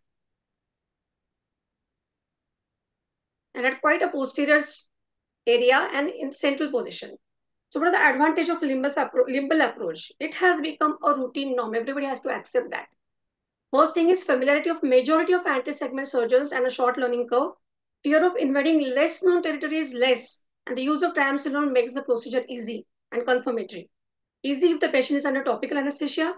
The same vitrectomy cutter can be used for cortical aspiration just by changing the settings to eye cut. Easy access to the vitreous incarcerated in the incisions. No special VR instruments required, no extra incision, less handling of ocular tissues. Reduces the risk of damage to peripheral retina at the hands of a novice anterior segment surgeon. No need of VR surgeon if there is no retained nuclear matter. And pars plana antivitrectomy risk retinal tears detachment, engagement of vitreous base with the instrument, causing dialysis, giant retinal tear, prolapse of a knuckle of vitreous if MVR blade is used instead of trocar system, so on and so forth. And mind you, these cannot be handled by a regular anterior segment surgeon. So at the outset, which point I mentioned, for the surgery to become Shahenshah, the answer to all is yes and only yes. So my worthy opponent shall put lots of videos, pile of evidences, international journals. I could have done all this, but want of time and my clear and pure heart did not allow this. Also, we ophthalmologists are smart enough to know the difference and accept the best. Hence, the limbal approach is unequivocally the Shahenshah. Thank you so much. Thank you, Dr. Rujuta. Uh, thank you, Dr. Rujuta. And uh, now we have Dr. Samaresh Srivastav to give us the other side of the coin. Dr. Samaresh is a phaco-refractive surgeon at the Raghudeep Eye Hospital at uh, Ahmedabad and Jaipur. So over to you. Thank you, Dr. Bavankule. I'm, I hope I'm audible and the slides are visible. Yeah. Uh, thank you, Dr. Tinku, for the kind introduction. And this is an interesting topic, and it's always been interesting for the last decade that I've been talking about it. And somehow the excitement doesn't go away. So uh, I'm just going to start with the case. So this is a posterior polar cataract, and it's something that all of us know can go south in any which time. Our choice, if the patient can afford, is to go ahead with the femtosecond uh, cataract surgery because it prevents any form of hydro maneuvers. Uh, the technique is called femtodelineation, and it's been published and widely accepted. So we went ahead and did that in this patient's eye, and the surgery went well and we were implanting an IOL and noticed that sometimes, you know, there is an incompatibility for a tighter incision. This was a 24 diopter lens. And for some reason, the lens got stuck and the overriding of the uh, injector happened. Just to see what's happening, the IOL is stuck inside and uh, any effort to try to move the IOL never worked. So we had to enlarge the incision. But in trying to enlarge the incision, the IOL also dipped down. And at this point in time, we realized that we created a PCR because the capsule was deficient. And this is not an impossible scenario. It can happen due to many reasons. The problem is, what do you do when you land up in a situation like this with the IOL in the bag and there is a vitreous loss or there's a posterior capsule defect with a query vitreous loss? I think we need to understand that for us cataract surgeons, the or any surgeons for that matter, the only constant is evolution, and we need to learn and we need to adapt to get our techniques to be done right. Otherwise, we'll still stuck up in the extra extracapsular error, and we will never really go up from that. So here I'm trying to convert that small PCR into a you know ragged PCR edge into a posterior capsulorhexis, but I soon realized that there is some vitreous disturbance. The first key takeaway message, whether limbal or pars plana, is to suture your main incision because you don't want any collapse of the anterior chamber and more vitreous prolapse. Now, my take on this was to do a pars plana vitrectomy, uh, and I've been doing it for quite a few years now. Is that I use a trocar cannula system. But even if you don't have a trocar, you don't really need to invest in one. You can just use an MVR knife and make an entry at the right depth. Uh, again, as you, as, as, you saw, I'm just converting that PCR into a PCCC, and I'm following it up with the pars plana vitrectomy under a triamcinolone guidance. And what I want you to notice is that vitreous body that had prolapsed anteriorly into the anterior chamber is now being sucked back into the posterior compartment, which is the natural compartment of the vitreous. So you're not dragging the vitreous body upwards, but cutting it right in its plane underneath the iris, underneath the posterior capsulorhexis, where you have a wider access and trying to clear up all that area. Even if you're not able to pull back a part of this, the important point is to guillotine off the anterior uh, prolapse vitreous from the posterior vitreous body, as you can see over here. And you have far more access using that. So you don't need to do a uh, infusion. If you notice, it's a bimanual vitrectomy where the irrigation is in my left hand using a bimanual irrigation aspiration cannula and the vitrector is in the right hand. And once I've removed the, once I've broken the connection between the anterior and the posterior vitreous bodies, the little bit vitreous that is lying anterior can always be taken off using the limbal approach, if at all it stays behind. Just to highlight this with an example, so vitreous is not just a jelly, but it's entwined fragments, uh, all these slender fragments. So if you pull the vitreous anteriorly, you cause an upward drag on the vitreous body. And that's a big problem because that can cause an enlargement of a PCR into an uncontrolled environment. On the other hand, if you use a pars plana approach, I mean, again, with the limbal approach, if you notice, there is so much of drag. You notice how the vitreous body jumps up and down. And obviously, what started as a small PCR is going to become an uncontrolled one. Sometimes you may not be able to place the lens inside the capsular bag because what, what was tiny is now big. And notice how, notice those fluctuations and flutters that are being born on the edges. Compare it to a pars plana vitrectomy, where you're pulling the vitreous back into its natural compartment, like so, and it's pretty evident. And thereby, you are more likely to prevent a further enlargement of a whatever compromised situation that you've created. And to show you the same thing in high-speed photography, notice how quiet the edges are. There's hardly any upward drag. There's hardly any movement of the vitreous body. And it's a significantly more tranquil environment. So going back to that patient over there, this is how we did visualize the eye. Now, if you notice, we've done a pars plana vitrectomy, and it's a really quiet anterior chamber.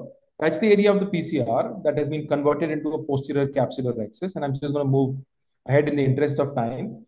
When you put a lens inside, it's very important to visualize and be very confident that you're not going to either lose the lens in the posterior compartment or entangle the posterior uh, capsule, causing a further enlargement. And you can only do that if you're able to convert that ragged posterior capsule tear into a more circular, circular curvilinear sort of a rhexis pattern.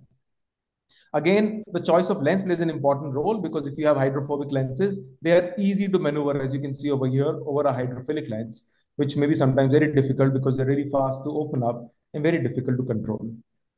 So once we have the lens inside its place, we further go ahead, make sure the rest of whatever little bit vitreous strands are there have been removed and close the eye. And I'll just show you the, needless to say, suture the wound. So this is that same patient where things could have gone wrong in many which way, but notice the small posterior curvilinear capsular rhexis, which we were able to do only because we did a pars plana vitrectomy.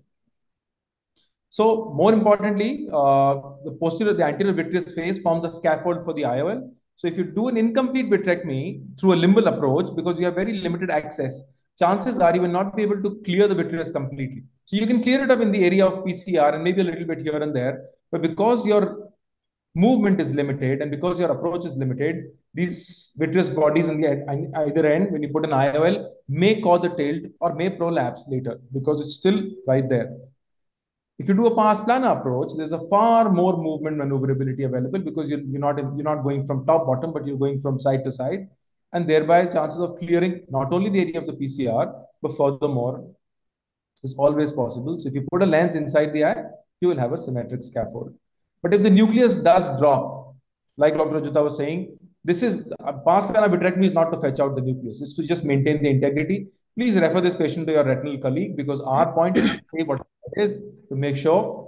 Also, once the surgery is done, please have the retina doctor look at the peripheral retina. If there's any breaks or any tears, they can always laser it off. So please change your mindset and you can adapt. You need to talk to your retina colleagues. Look at some videos. There's ample evidence available right now, enough published data, and a lot of surgical videos. Go and observe in certain senior surgeons' places and choose the path that's not only safe and predictable, but also good for patients' visual outcome because that's what we want to do as cataract surgeons. Thank you. Thank you, Dr. Samaresh. I think both the speakers very excellently defended, defended their viewpoints. Uh, so, Dr. Anand uh, Pangarkar, sir, what are your final uh, uh views on this topic? Your both final things, Yeah, both the things have their own merits. If you are strictly an anterior segment surgeon, not trained to do a pars plana, you may avoid. But remember that you are not doing a complete anterior vitrectomy. You are just removing the vitreous which has prolapsed. And therefore, it will be a not a 1A situation, but result-wise, but it will be a 1B or 1C. So the pars plana approach is the best. However, you need to get training. I will avoid limbal approach in these following patients Myopes and patients with history of trauma. Thank you. Uh, Dr. Sai Kumar, any other comments or any other questions that you had? Is he here? Okay, so we move on to the next topic. The next topic is a scenario where you have a cataract with a full thickness macular hole. And uh, we have Dr. Pallavi Singh, who's a vitreoretina consultant at Dr. Ramesh Eye Hospital, Ludhiana. She'll be speaking on the stepped approach that is cataract followed by vitrectomy. And we have Dr. Aarti Mohan Kumar, who's a vitreoretina consultant at the Rajan Eye Care Hospital, Chennai, who will be talking to us about a combined approach. So, Dr. Pallavi Singh. Good evening, everyone. Am I audible? Yes. Uh, uh, so thank you, team ARC, Dr. Prashant Bawankule, Dr. Tinku Bali, for uh, giving me this opportunity. So why I vehemently support going for a sequential surgery for uh, in cataract with macular hole as compared to combined phaco-vit, we will see. Move the slide.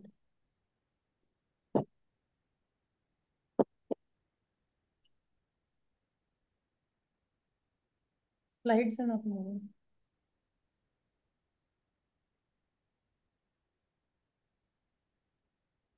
You can share your slides again.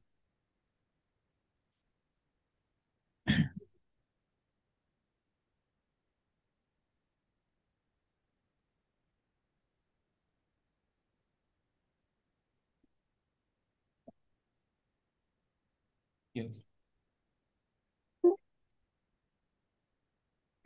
So there are preoperative considerations like taking care of cataract-induced vision loss helps in better prognostication and helps in giving more realistic goals after macular hole surgery.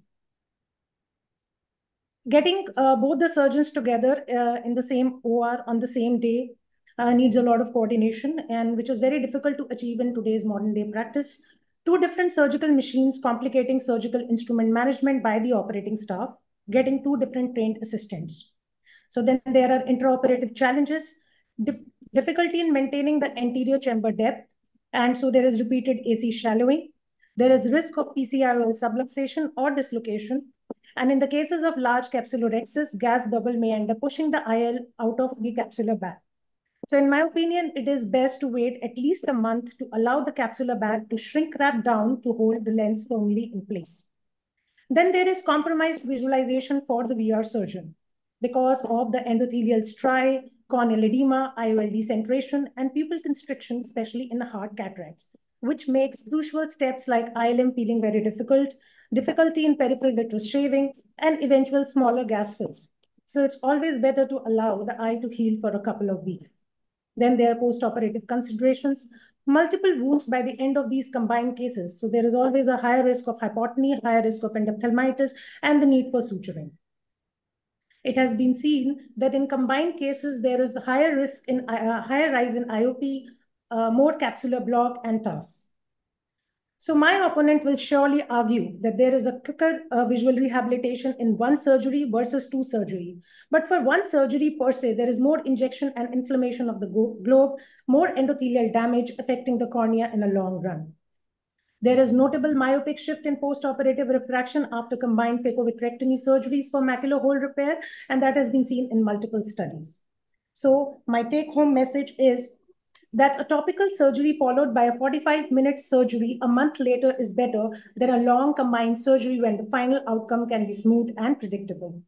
My opponent will go on and on about avoiding the hassles of two surgeries, saving time, saving cost, but I would just like to conclude that patient's optimal outcome shall be the prime focus of a surgeon.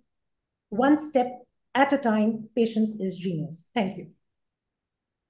Thank you, Dr. Pallavi, for that very concise talk. And now we have Dr. Aarti Mohan Kumar with her viewpoint.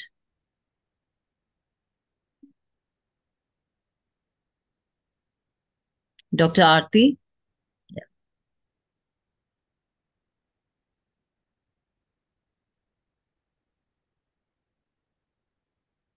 Uh, uh, are my slides visible? Yes, yes. A very good evening to all. I thank Team ARC AIOS for giving me this opportunity.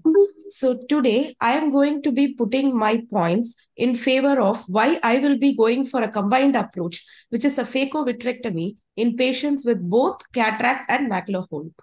So phaco-vitrectomy carries a lot of advantages for both the patient and the surgeon.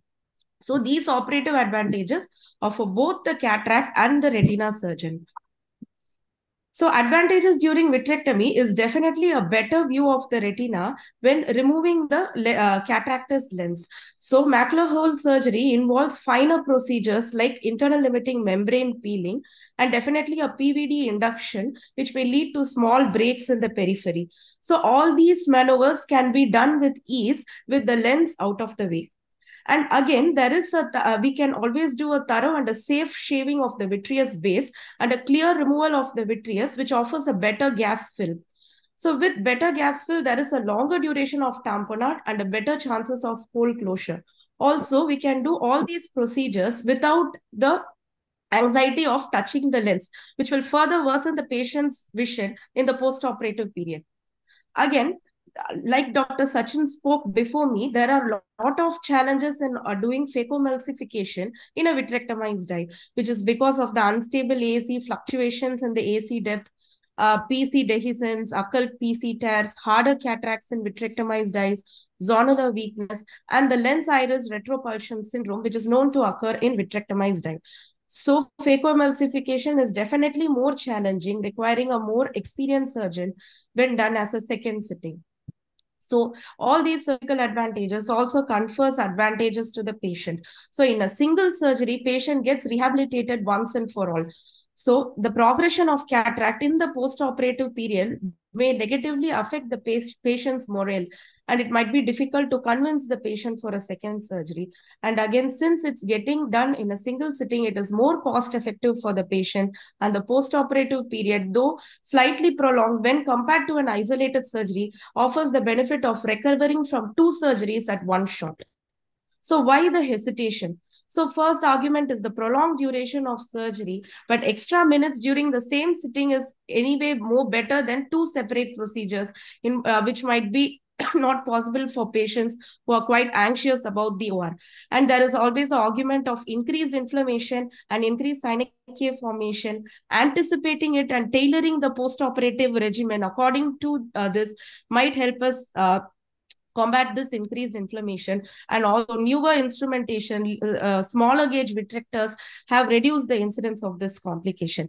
Again the argument that a refractive outcome that myopic shift is noted in patients. So there are review articles which have shown that regardless of the sequence of surgery these patients tend to have a myopic shift and it can be adjusted while selecting the IOL for the patients. So easier uh, phacoemulsification easier vitrectomy and early patient recovery makes phaco-vitrectomy the clear winner for patients with cataract and macular hole. Thank you.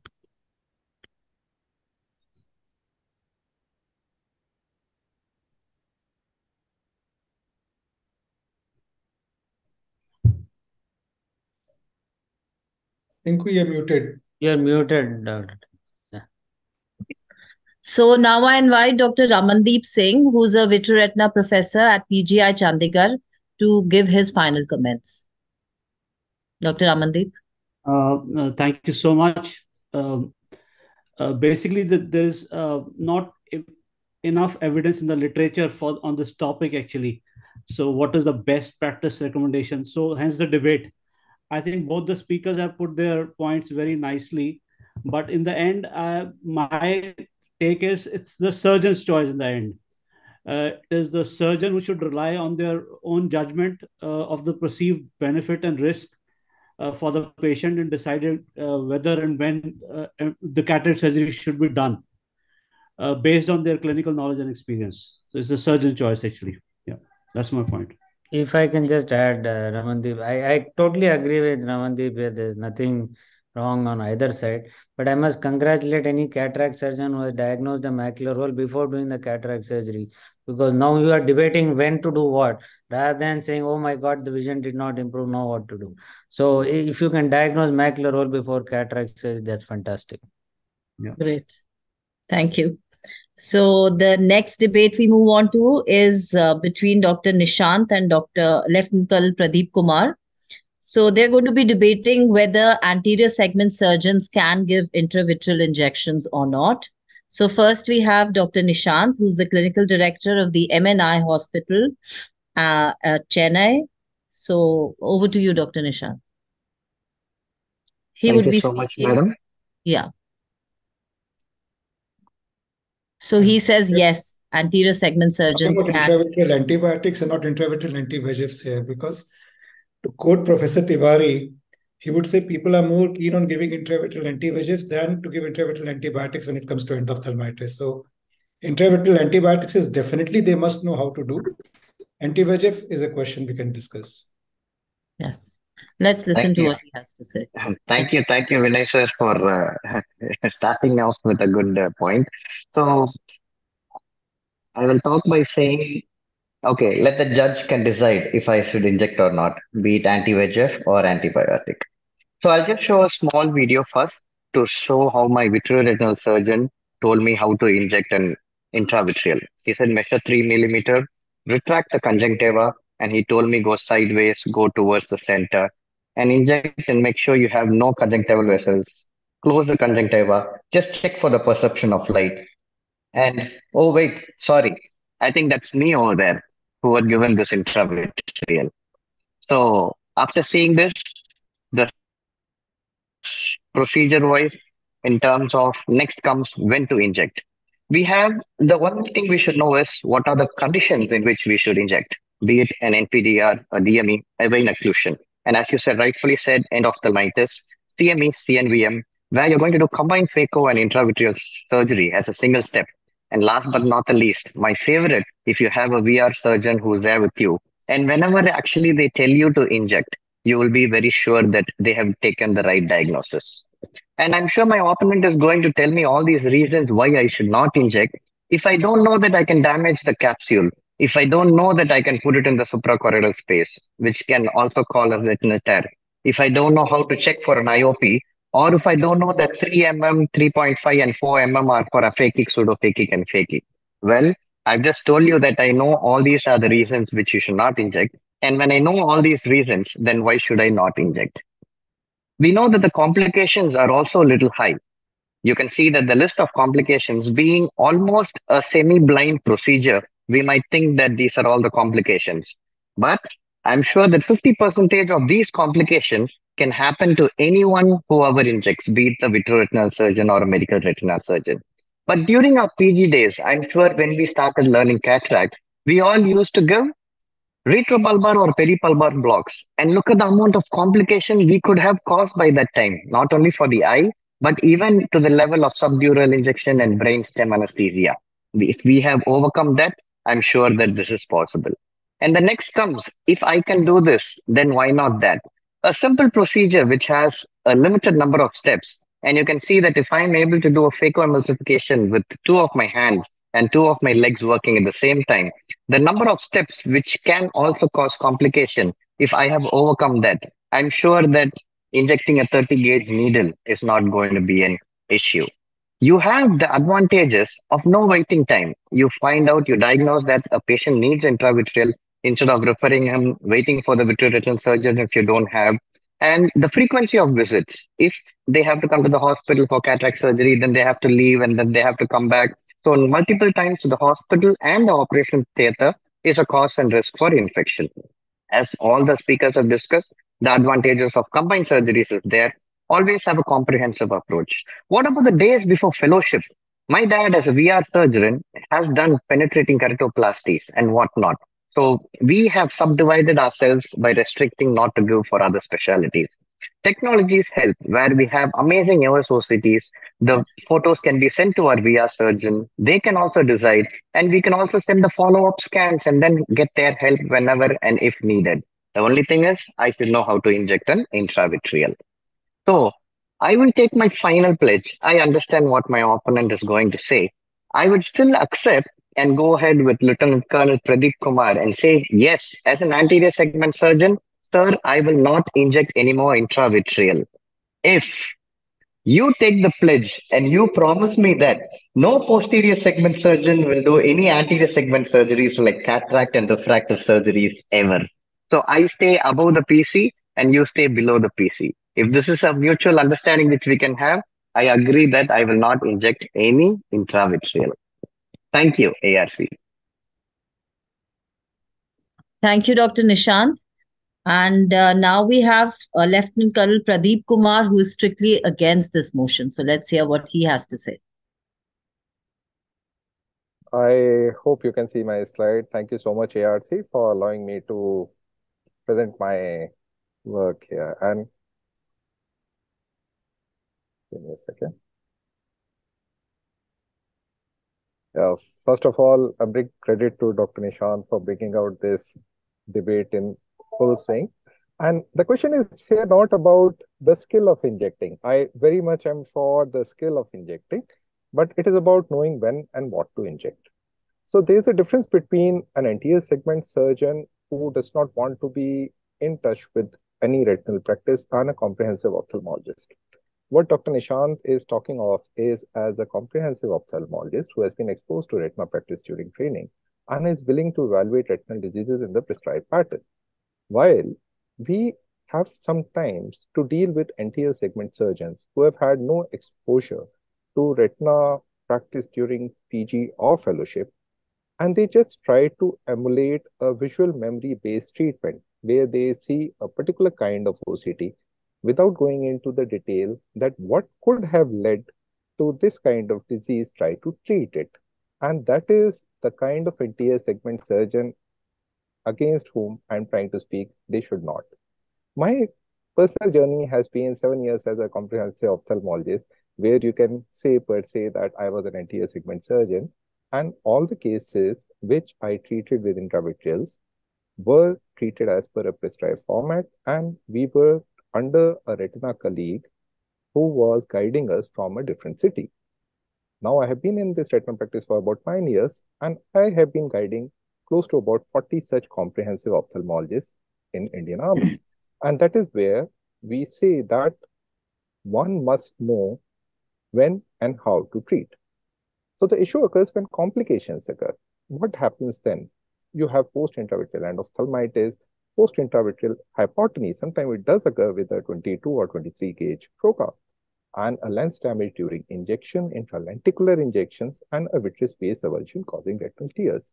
So this kind of picture where one of the referred cases we had, we found an intralenticular Ozurdex implant in a case of Viavio who had a vision of 6-6, had few cystic spaces on the OCT. Someone decided to inject and not only inject, they went into the lens. So this was not called for. And patient does not get the best when patient has to require multiple injections. Nowadays, when we have to give multiple injections, we ensure that we give a single trocar. I'll be demonstrating that technique and cause minimum amount of pain as well as minimum amount of entry into the vitreous. Post intravitreal hypotony, very nice for Dr. Nishant to have checked PL after giving the injection, but many a time it is missed and people do end up with CRAOs, which we have to deal with. And an ill mannered AC tap sometimes lead to lenticular damage, which is the reality. Lastly, this video will keep going on. This is for benefit of few of our general ophthalmologist friends who are seeing. It's just a technique where with a single trocar entry, we are able to give multiple intravitreal injections. So what I am saying is that yes, intravitreal injections can be given by a comprehensive ophthalmologist and should be given by them because there's a huge availability issue of retina surgeons in far-flung areas where many of my military colleagues have to practice, where they have to treat diseases where I cannot be. But I'm absolutely against anterior segment surgeons who are trying to enter the retina practice without any training. Thank you so much. And thank you, Nishan, for that wonderful animation. Thank you, Dr. Pradeep. Very well defended. And uh, now I invite Dr. KP Kudlu to give his final comments. What does he feel? Dr. Kudlu is the medical director of the Prasad Netralaya Group of Hospitals in Karnataka.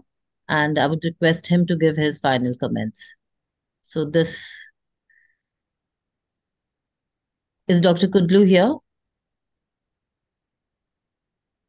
So Dr. Vinay, what do you feel about this?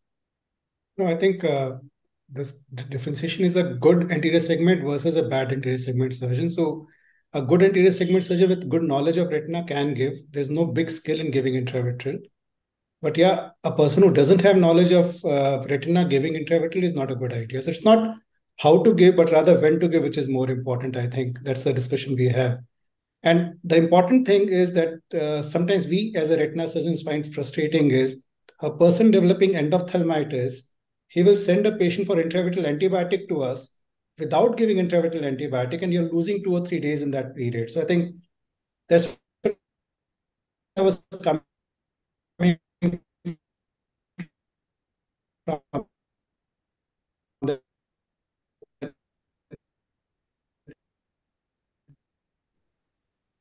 So yes, uh, can you hear me?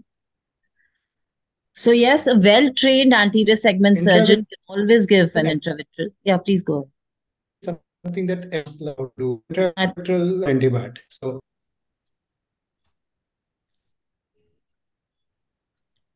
Yeah, Thank you, Dr. feel, Vinay. can I say?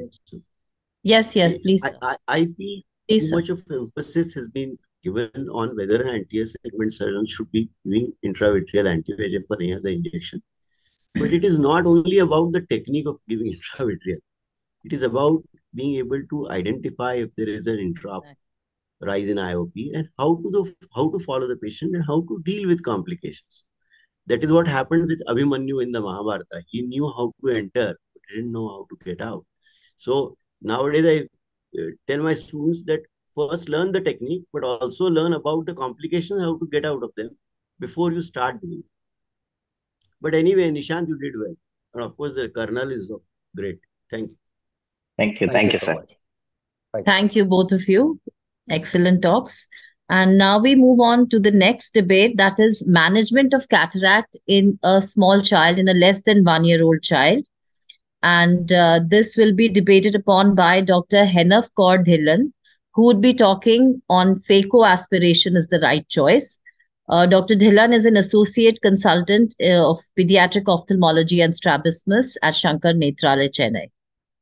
So, uh, Dr. Dhillon, I invite you.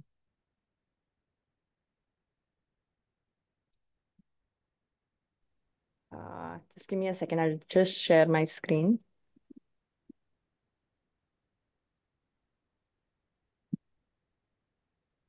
Uh, are my slides visible? Yes, they're Okay. visible.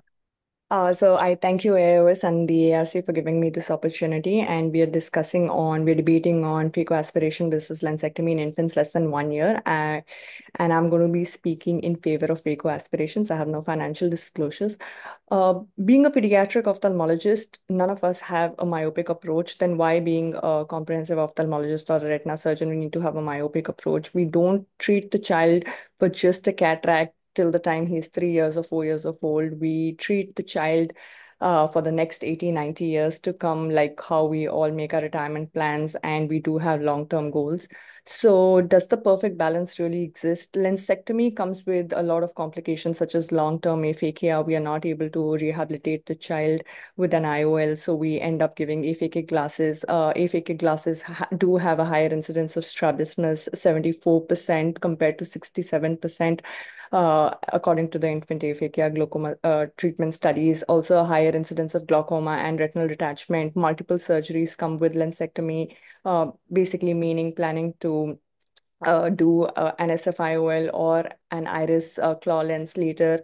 And also there are non-compliance to contact lens use, uh, aphakic contact lens use. And obviously it is technically a little difficult com in comparison to lens aspiration, which is done by trained pediatric ophthalmologists. Oh, and it's a less aggressive procedure. Uh, the it we usually use a limbal approach, and a clear corneal tunnel can be used to place uh, single piece hydrophobic IOLs, which are now very compatible in children, can be safely placed in children over six months of age who have normal biometry parameters. Primary IOL placement is routinely done in all infants who are greater than six months and who have an axial length of about 20 millimeters and who have a good corneal diameter of 10 millimeters and above even if you're not able to place a primary IOL in the first sitting, a 360 uh, degree rim is left and it is uh, very cumbersome less cumbersome for us to uh, implant a secondary IOL at a later sitting once the child is of uh, school going age, say two and a half to three years of age. Uh, and uh, most studies have shown that with a good posterior, primary posterior capsular rhexis and an anterior vitrectomy, we are uh, the visual axis opacification rates are almost uh, less than 90%. With the newer techniques like optic capture and bag in the lens, which do not require an anterior vitrectomy, also without disturbing the anterior vitreous face, we are able to minimize the chances of visual axis opacification in these patients. Uh, it's They are very easy to learn techniques with a very short learning curve compared to plas lensectomy. It also avoids a lot of complications that come with SFIOL and iris claw lenses, especially SFIOL, which can be done only after reaching a certain age once the growth of the eyeball has stopped. So leaving a child aphakic for all these years comes with a lot of complications. Managing amblyopia in these cases is very, very difficult. So what do we have? What does the literature say? Uh, tertiary center studies in across the world and in India, they do say that uh, the one of the causes of poor visual development and poor outcome of cataract surgery in children is the development of amblyopia. So when we do perform cataract surgeries in children, it is not just performing the surgery, it is also managing the amblyopia and managing the long-term visual outcomes in these children, which can be easily done by a pediatric trained ophthalmologist rather than a retinal surgeon who can for whom it's very easy to perform just a lensectomy, but then the children are referred to us and it's very difficult to treat the aphakia later. So better to make the child either pseudophakic or leave a sufficient capsular rim so that they can be rehabilitated with an IOL uh, at a sooner time. Uh, also, the incidence and risk factors of uh, retinal detachment after pe pediatric cataract surgery, they have been studied, and the risk of retinal detachment is almost 5.5% uh, with lensectomy and compared to 3.2% with anterior vitrectomy and IOL placement initially. Uh, the surgical outcomes uh, with primary intraocular lens implantation and with uh, bag in the lens technique and optic capture are very, very favorable and very easily. Uh, the only the only certain situations that come along like say persistent fetal vasculature what do you do then again we have conflicting views on the same so if uh, if we do see the vessels on the posterior capsule with the with the little technical ease, uh, we are able to endocauterize them, perform a good posterior anterior, uh, posterior primary posterior capsular rhexis, do a good anterior vitrectomy, and uh, place uh, an IOL in the same sitting in slightly older children. However, yes, uh, there are certain cases wherein we do need to perform lensectomies with the help of our posterior segment colleagues, wherein we do see vascularized stalks or we do see attraction on the retina. Those are the cases I feel that timely referral pre-operative referral to a posterior segment surgeon would be um, an intelligent choice to make. So let's just aspire and aspirate, always take the straighter route, let the pediatric ophthalmologist handle these cases with a plain lens aspiration, primary posterior capsular rhexis, with either an optic capture or a bag in the lens or an anterior vitrectomy, rather than going through a lensectomy and then multiple surgeries later on. Thank you. Thank you, Dr. Dhillon. And uh, next we have Dr. Abhishek Kothari, who's the director of the Pink City Eye uh, and Retina Center in Jaipur. And he'll be speaking on lensectomy for a pediatric cataract. Dr. Kothari. Yeah, good evening, everybody, and thank you, uh, ARC, for giving me this opportunity. And I'd like to thank Hina for you know making my talk easier. So uh, the one point that I think uh, was made in the previous debate also was that we are not against the pediatric ophthalmologists doing this surgery. We don't want to take it away from them. Only thing is, we want to tell them the way to do it is the lensectomy rather than trying to do an aspiration, especially when the child is less than one year old. So we don't have any uh, arguments over children who are, you know, over two years uh, or, or more in age. So I'm going to talk about the benefits of lensectomy. Now, we all know pediatric cataract has certain unique challenges. The anatomy is different. You have a shallow ACU, uh, the, the uh, uh, scleral rigidity is low. You have a uh, trabecular meshwork that's not very well developed. Inflammation is quite uh, profound and prolonged in these cases. And whatever you do, there is proliferation of the uh, and Elschnig's pearl formation in the pupillary zone, causing a visual axis obscuration. Also, follow-up is not that easy in these small children. So again, coming back to the uh, you know first dictum of medicine is primum non nocere. So your technique should not do more harm than it does good. and these are the harms that can happen when you don't uh, you know clear off the anterior segment quite well you can have uh, capsular phimosis you can have the capsular irido uh, capsular adhesions which make your visualization of the fundus very difficult even in good uh, surgeries where you have put in IOL and you you've uh, cleared according to yourself you cleared quite well you have Elschnig pearl formation and visual axis obscuration so, uh, you know, the literature is uh, pretty clear as to what has to be done in younger children. Now, let's talk about the issues.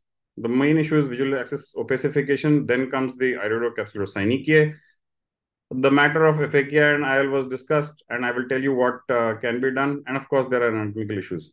So, the solution to these are remove all the causes in toto that can cause a visual axis opacification limit the inflammation by you know limiting the kind of manipulation close to the iris also as far as IL implantation in such small baby is concerned, what power are you going to put? Is there any single formula that gives you reasonably accurate biometry, especially in a small child? And there are multiple literature which says that there is none. And of course, you have to use a surgical approach that is least affected by the anatomical issues. So this is a small video of a lensectomy being performed. You don't need to always do a lensectomy by the pars plana route. You can also do it through the limbal route with very small incisions. And now uh, there are papers that you can do it uh, using 25 gauge instruments also. The rhexis is far more controlled. Everybody knows rhexis is a big issue in these kids. With a cutter, the uh, is far more controlled and uh, you can make it to whatever size you want to. You can enlarge it in between your surgery as much as you want to and you can uh, you know really control the edge. It does not run away. You don't have to pull on these zonules to uh, keep it uh, you know central. Also as far as the posterior capsule uh, capsule rhexis is concerned you'll see in this particular case the reason i've chosen this video is that once you've removed the central capsule sometimes this is the kind of posterior uh, capsule that you get and in this kind of posterior capsular plaque, it is fairly difficult to be able to, uh, you know, uh, perform a very good round uh, uh, rhexis, posterior rhexis. Whereas with a cutter, see the control, you can actually go ahead and do and uh, make the posterior capsular opening to the extent that you want to. You don't really need to, you know, sweat it out there. If you think it is smaller, you can always enlarge it. And at the same time, you can clear the anterior vitreous also in uh, from the proximity so that you don't have these Elschnig pearls uh, forming and obscuring your visual axis later. With this, you've managed to leave a sufficient amount of capsule which can you know enable an optic capture lens to be put once the child is about two years of age. And if you use a 25 gauge instrument, you don't need sutures. So what uh, it does is you achieved your surgical objectives in a controlled fashion uh, we all know that you know sutures in kids have developed vascularization very fast. You have avoided that. Uh, monitoring of fundus through an aphakic uh, eye is very very easy. You can see ora to ora. So if you have a retinal complication, you'll find it out very early. And once the IOL is not there and the uh, pearls and uh, all those things are not there, the deposits on the IOL are not there, your visual access and your monitoring is very easy. As far as the secondary IOL placement is concerned, if uh, lensectomy is done well with the capsular uh, uh, remnants, you can always do that at about two and a half to three years when uh, you know the uh, when the child is a little older and your biometry becomes a little better. So these were the objectives why we should i think do lensectomy and uh, uh i mean and you can always if you're not comfortable doing through the pars plana you can always do it through the limbus and still have smaller incisions and a far more controlled procedure. Thank you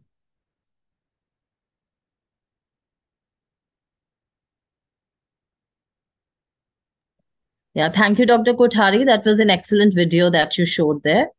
And uh, now to sum it all up, we have Dr. Manish Tandon. Uh, Dr. Manish is a pediatric retina specialist with a special interest in retinopathy of prematurity. He's the director of the Prayag Retina Center at Prayagraj. And uh, over to him to give his final comments. Dr. Manish.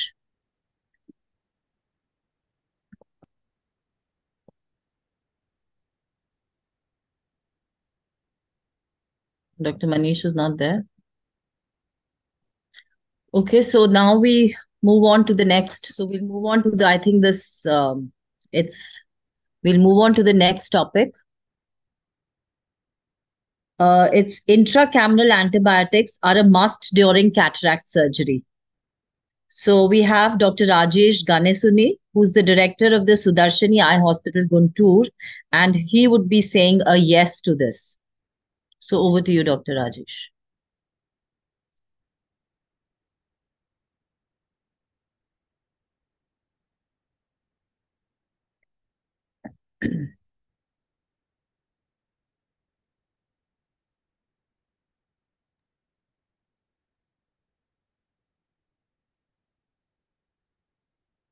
So opposing him is Dr. Madhu Kumar. Dr. Madhu Kumar is a senior consultant at the Sankara Eye Hospital, Guntur, and he would be going next. Good evening, everybody. Uh, thank you very much, ARC, AOS ARC, for giving me this opportunity to participate in this debate. I'm Dr. Rajesh Ganesuni from Sudarshani Hospital, Guntur. And the topic given to me today is to say yes to intra, uh, intracameral antibiotics during cataract surgery. As you know, the post-operative endophthalmitis is a rare but vision-threatening complication of cataract surgery. It has a high variable rate and there are risk factors such as the age, male gender, intraoperative, to post-operative capsular rupture, and other ocular uh, comorbidities.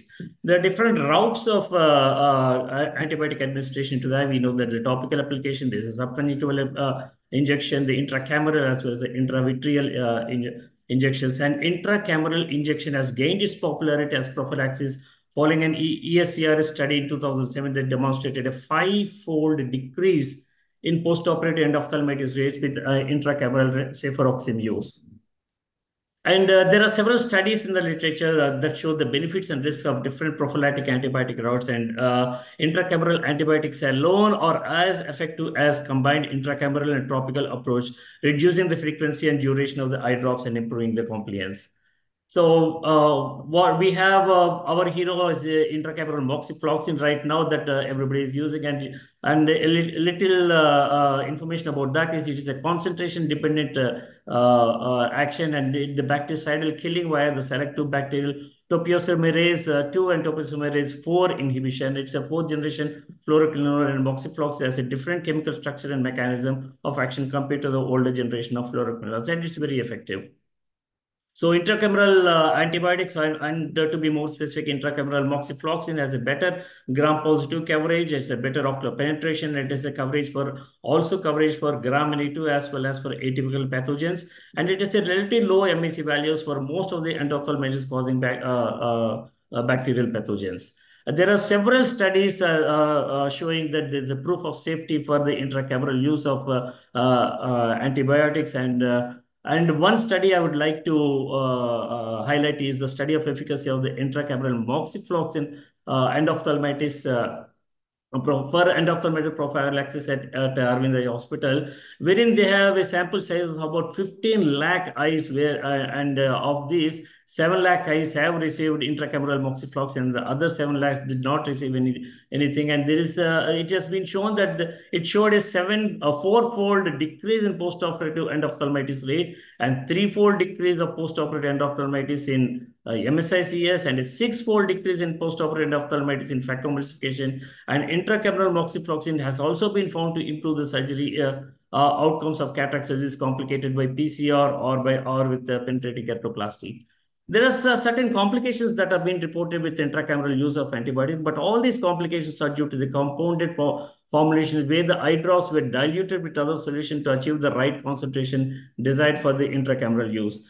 For, uh, however, there are no issues with the use of commercially available intracameral uh, formulations. And we have various uh, commercially available formulations right, available in India. We have these Vigamox drops. Uh, uh, uh, I have no financial interest, but I need to uh, uh, tell what are available right now for us. Uh, but these Vigamox drops have to be diluted to be used inside the eye.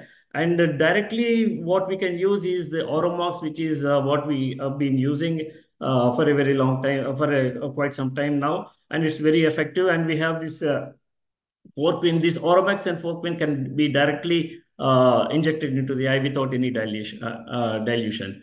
In conclusion, this intracameral injection allows multiple benefits during cataract surgery, which is evidenced by uh, randomized uh, controlled trials and meta-analysis.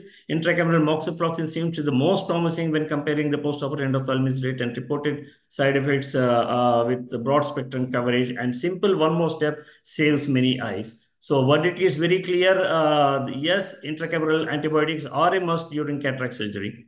Thank you very much.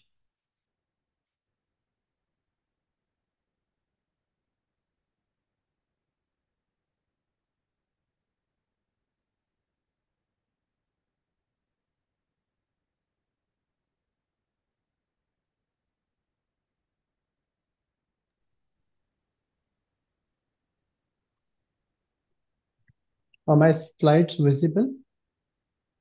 No, not yet, Madhu. Now? No. Just. Now? Yes.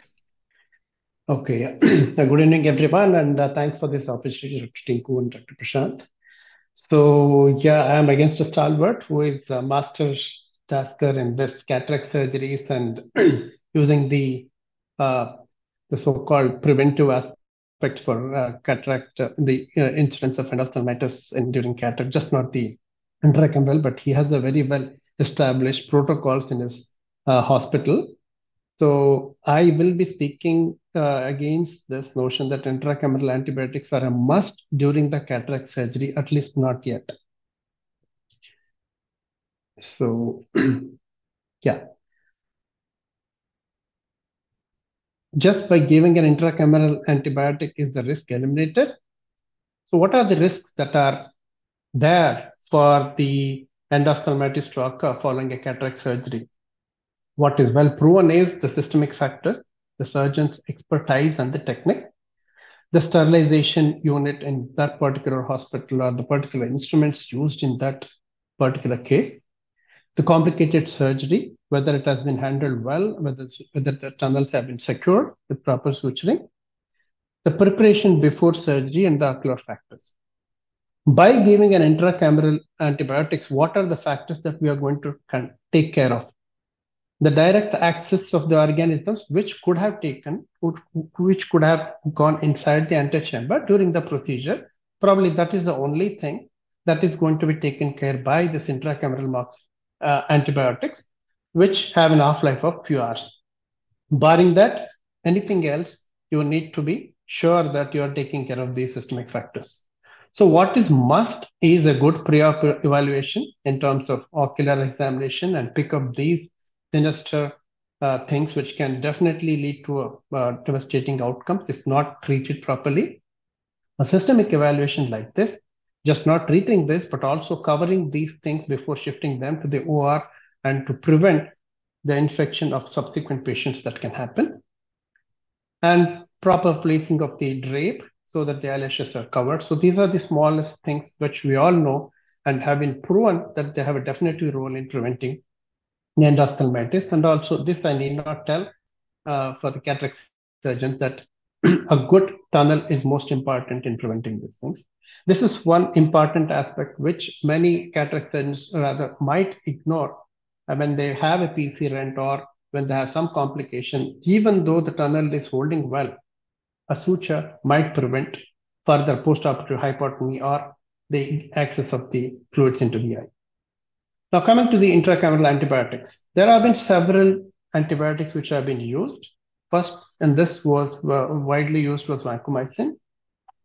The hemorrhagic occlusive retinal vasculitis were well known and then it was stopped. And then came the cefuroxime, where the macular edema was noted. And so it, it went off the fashion.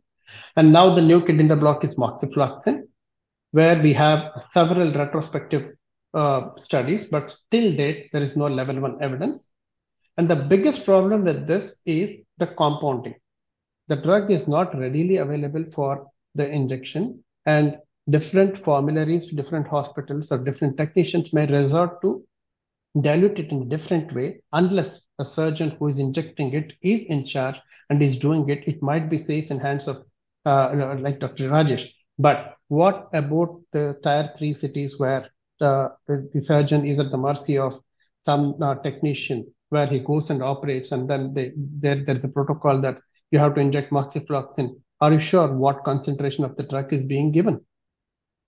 So FDA alert was issued regarding this 70% of the US surgeons were using this uh, intracameral uh, moxifloxacin. So they, there was an alert in this regard where it, it, it, it says that there is no adequate or well-controlled studies.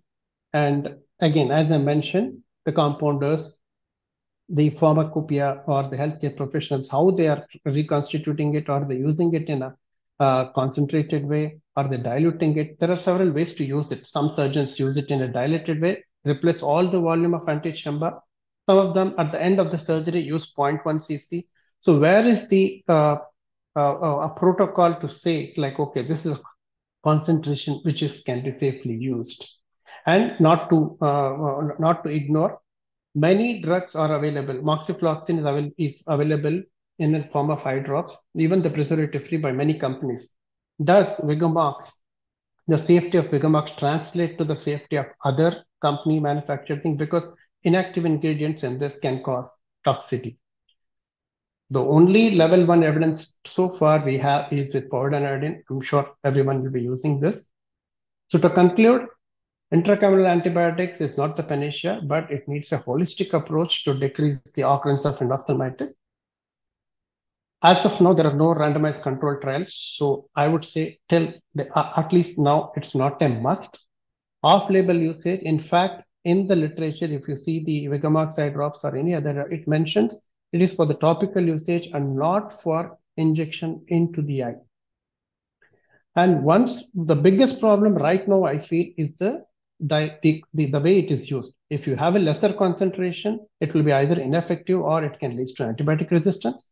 If you're using a higher concentration, then you can have a toxicity. Last but not the least, the surgeon should not feel that just, we are, just because we injected intracameral antibiotics, the other infections, even if we are missed out on the blepharitis or anything, should be okay.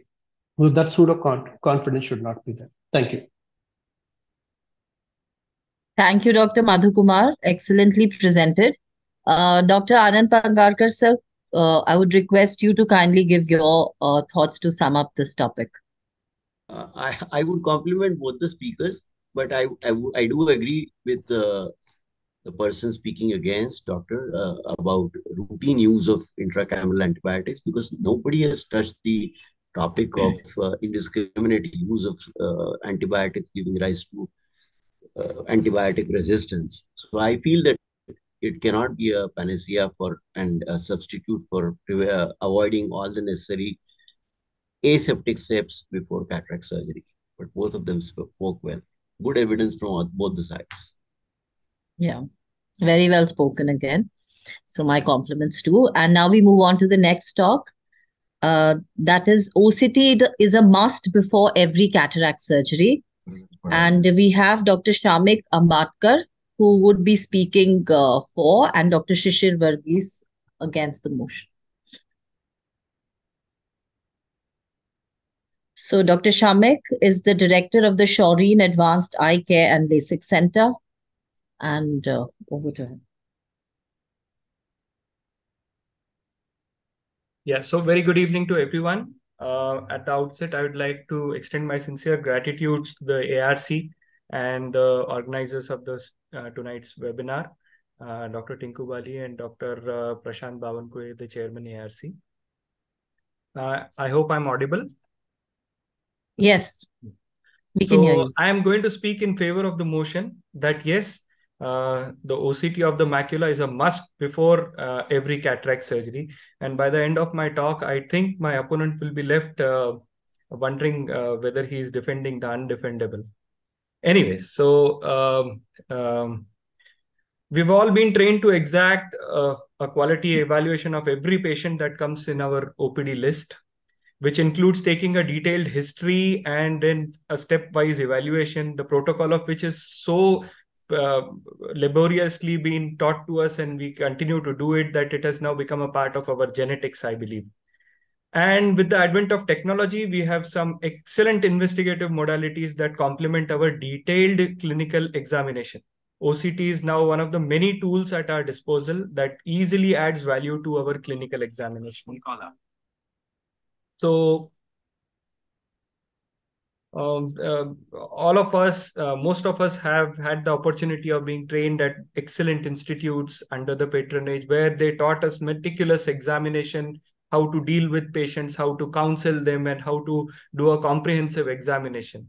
Uh, the late uh, uh, Dr. Ravi Thomas has spent almost all his life trying, striving hard to uh, create a common sort of a platform of or creating a standard for residency training but no matter how meticulous we might be, and the nature of cataract uh, not allowing us a clear view to the retina, it's always human to err. And uh, just a slide about medical uh, jurisprudence, meaning the law of the land doesn't differentiate between an judgmental error and negligence. So uh, what's the harm in complementing a detailed clinical examination even if you are sure that the retina is normal why not just do a additional ocular uh, uh, macular oct just to be sure that you're not missing something that gives us some standing if somebody is to pull us in a litigation coming to the academic part uh, the OCT is, of course, a software based imaging system. It's no more a fancy tool because it definitely overrides the disparity of acumen of judgment.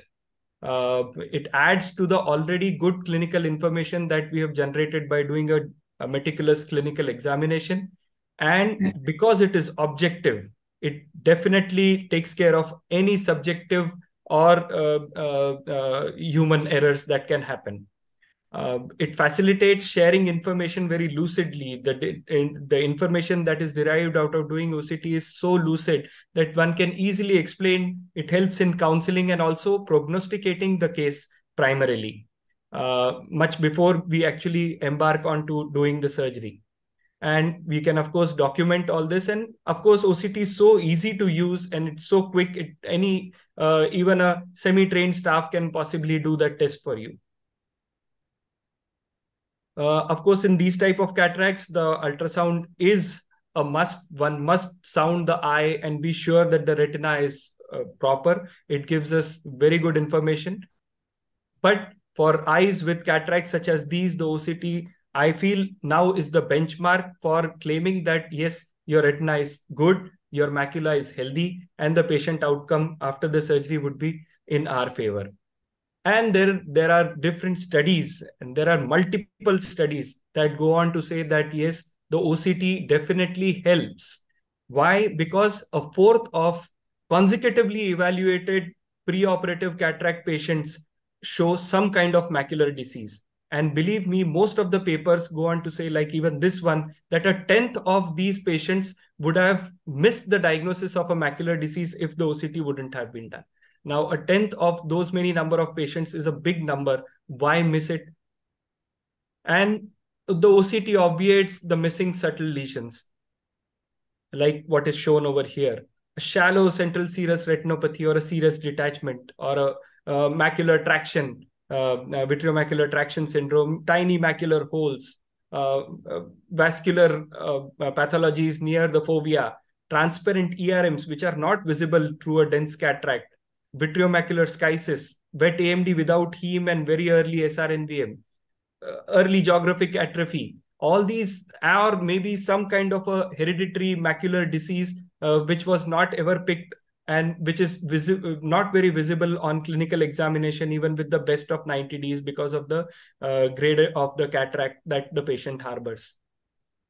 Not just that, the it also helps us in planning how we go about doing the surgery should we primarily take up the patient for a combined retinal surgery and cataract surgery or should we plan a retinal surgery later on or because of the new uh, uh, advanced lenses which are available is the patient's retina good enough to handle the uh, constraints of a uh, presbyopic correcting solution so all these things are made very easy if we do a preoperative OCT on a routine basis. And nowadays, the biometers, the optical biometers come with swept source optical coherence tomograms, which give you a small picture of the fovea as well. And one can easily compare those with the SD-OCT pictures. They're so comparable, you can almost get a clear indication as to what the patient might be harboring, which could have ideally have been missed if we wouldn't have done kind of OCT that uh, uh, we should routinely do. So the OCT is uh, can reveal retinal diseases that will otherwise be attributed to your surgery. If you missed a problem, everyone, including the patient, will assume that your surgery caused it. No matter how much you explain, it becomes very difficult. Phaco surgeons always discuss about refractive surprises. But if they add a macula OCT as a default in their diagnostic armamentarium, they can sleep peacefully without worrying about a nightmarish visual surprise uh, post-operatively as Professor Steve Charles himself, uh, a renowned and a, a retinal surgeon himself. Uh, the phaco surgeons can definitely take care of the post-operative refractive surprise by doing an IOL exchange, but can you do a macular exchange? Uh, the patient's expectations are running all very high. And that's primarily because we claim the finesse of modern phaco machines and the advent of technologically superior advanced IOLs. The last thing you want in your OPD is an unhappy cataract patient because they are our biggest advertisers in of our ophthalmic practice. So uh, OCT at the end of uh, all the clinical examination wouldn't hurt the patient much because it gives such wealth of information that you can possibly prognosticate and make it uh, uh, uh, make it easy for everybody post operatively so i thank you for your patient hearing. Thank you dr shamik and now uh, opposed to this motion we have dr shishir varghese. So he would be speaking on uh, the topic that OCT is not needed in every cataract patient. And uh, Dr. Shamik is a consultant vitreoretina surgeon at the Amita Eye Care Hospital in uh, Kerala. So over to you, Dr. Shishir.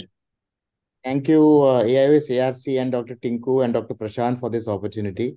So the next three minutes, I'll be spending some time trying to explain to the panel and the audience as to why an OCT is not a must before every uh, cataract surgery. So no conflicts of interest or no financial interest. So we tend to become complacent when you have something extra in your armamentarium. So no, OCT is not a substitute for a good clinical examination, which Dr. Shamik anyway mentioned in his first few initial slides. So you need to do a good 90D, good 78D, and then an indirect and pick up. If you feel anything, there's something at the macula, then you go ahead and do an OCT if required. But if you have a normal retina, which you can anyway see with a mild to moderate opacity, I don't feel an OCT is really required. So what about this? No view to fundus, no help from the OCT. OCT is not going to help you here. You hard cataracts, mature cataracts, Morgagnians. There you'll have to anyway rely on your macular function tests like PLPR, and you need to do a B scan to see whether retina is really on or not. So when you have a high patient flow, especially in the peripheral and outreach centers, secondary centers, or even primary centers where they do CAM surgeries, are you going to really sit and do they really have an OCT to sit and do for each and every patient? There anyway, you'll have to do your clinical exam, do a fun uh, 90D or a you know indirect and catch anything. And if required, then you can go ahead and do the OCT. So again, here OCT not a must for every patient who are going to undergo cataract surgery. So OCT won't help predict exact visual outcome. Rather, you can use a retinal acuity meter or a potential acuity meter, which we have been using at our center regularly for the past uh, 20 years. So the retinal acuity meter is a device which allows for predictions of post-operative visual acuity and gives useful realistic expectations prior to cataract surgery. So this is a small device costing less than around uh, 50,000. No financial interest again. It's, it's got multiple small pinholes which allows the patient or the cataract patient to view through a clear area. And then this is how you use it. And around 40 centimeter distance, you can use this device and the patient will read and then this, this will predict and exactly tell you how much the visual acuity is going to improve. So an example of a patient with a normal fundus. So here the he has a NS3 cataract, vision improving only to 612 pre-operatively, but the RAM is 20 by 30. A RAM 20 by 30 means that I can confidently tell the patient that his vision is going to improve beyond 6.9. So as you can see, post-op, his vision in both eyes is 6.6 after bilateral cataract surgery. OCT done later, normal. Fund, the macula is absolutely normal. Example of another patient, pre, pre-cataract surgery, OCT was done. And you can see there is some macular lesion. But what, like, what will this OCT tell me? Oh, I'm sorry. Uh, I think after cataract surgery, you'll have to, I mean, you know, we don't know how much your vision will come. So we got a RAM done and this RAM is showing 20 by 30. And I can confidently tell the patient, go ahead and do the surgery and your vision will improve to 6.9 and it has improved to 6.9 in the right eye. So another patient presenting with dry AMD. So you can see both the OCTs here. You know, it's one has a loss of contour with ERM, the other one has drusen. I don't know how much the vision is going to improve post cataract surgery. This OCT is not going to tell me that. So I do a RAM. So in the right eye, it's only 6 by 60 with the ram it's 20 by 100 so that means after cataract her vision is going to improve to only maximum it'll remain at 660 or it'll improve to 636 whereas surprisingly in the left eye her ram is 20 by 50 and i can confidently tell her in your left eye your vision is going to improve to more than beyond 618 you do the left eye first and then we can plan your right eye later as the vision will improve significantly in the left eye. So ram and the pam they have a more numerical advantage of telling the patient how much your vision will improve rather than an OCT. If I do an OCT, oh, I'm sorry, uh, cataract surgery we'll do, but vision, it will be under guarded visual prognosis. So this is another instrument which we use, which is the PAM. So we tend to become complacent. Most of the cataract surgeons, they get only a line scan through the OCT. You look at a line scan, oh, macula is absolutely fine. You'll get good vision. But later when post-operative surprises come, you see that the lesion was somewhere else and it has been missed because you have not gone to your machine and checked those uh, line scans. So I feel for poor patients or even you know middle class, sometimes it's an unnecessary load on the patient's pocket or wallet going and doing an OCT unnecessarily for even a normal fundus. So you have to really see whether OCT is really a want or do you really require it. If there is a macular pathology, you then only I feel it is required. You can go ahead and do the OCT. Otherwise, you if you do your RAM or your PAM and a good clinical exam 90D, I don't think an OCT is required for every single uh, patient. With this, I conclude my talk. Thank you. Thank you, Dr. Shishir. Uh, so I think both Dr. Shamik and Dr. Shishir have very convincingly presented their side of the coin. And if Dr. Vinay Garodia is there, I would like him to finally sum up this topic. Dr. Garodia, are you there? Okay. So I think that was one of the last debates. And yes, um, uh, there are situations where OCT is very imperative, and there are situations where you know the patient has a normal fundus with a good clinical examination. And those are the cases where you do not have to do an OCT every time. So both the speakers brought their points out very well. So with that, we've come to the end of this CME which dealt with all the posterior segment challenges for the anterior segment surgeons. I hope it has been a great learning experience for everyone who logged in. And I thank all the chairpersons, the speakers, the moderators, the audience who joined in for their presence here tonight. Well, we have uh, stretched it out. We've exceeded the time limit, but then uh, there was so much to cover. And this is going to be a repository for posterity. It's going to be there on all the YouTube channels. So anyone who has missed a few of the talks can log in at any time and have a look at the topic of their interest. And um, uh, before we conclude, apart from a special thank you yet again to all the speakers who are with us here uh, till the end, uh, I would request Tushar. Tushar, are you there? Tushar?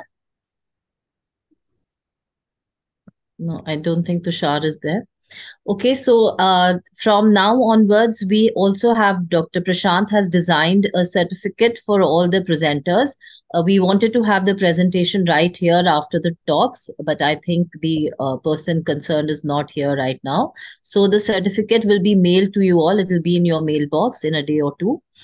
And uh, once again, thank you everyone for your presence here, for all your excellent talks, the excellent inputs, and uh, uh, look forward to having you all again at some other CM which we organize next. Thank you. Uh, thanks to Dr. Prashant Bawankule. Thanks to Dr. Harbans Lal, the president of AIOS, whose idea this uh, series of CME has been. And uh, good night and thank you. Good night. Thank Thanks you. so much.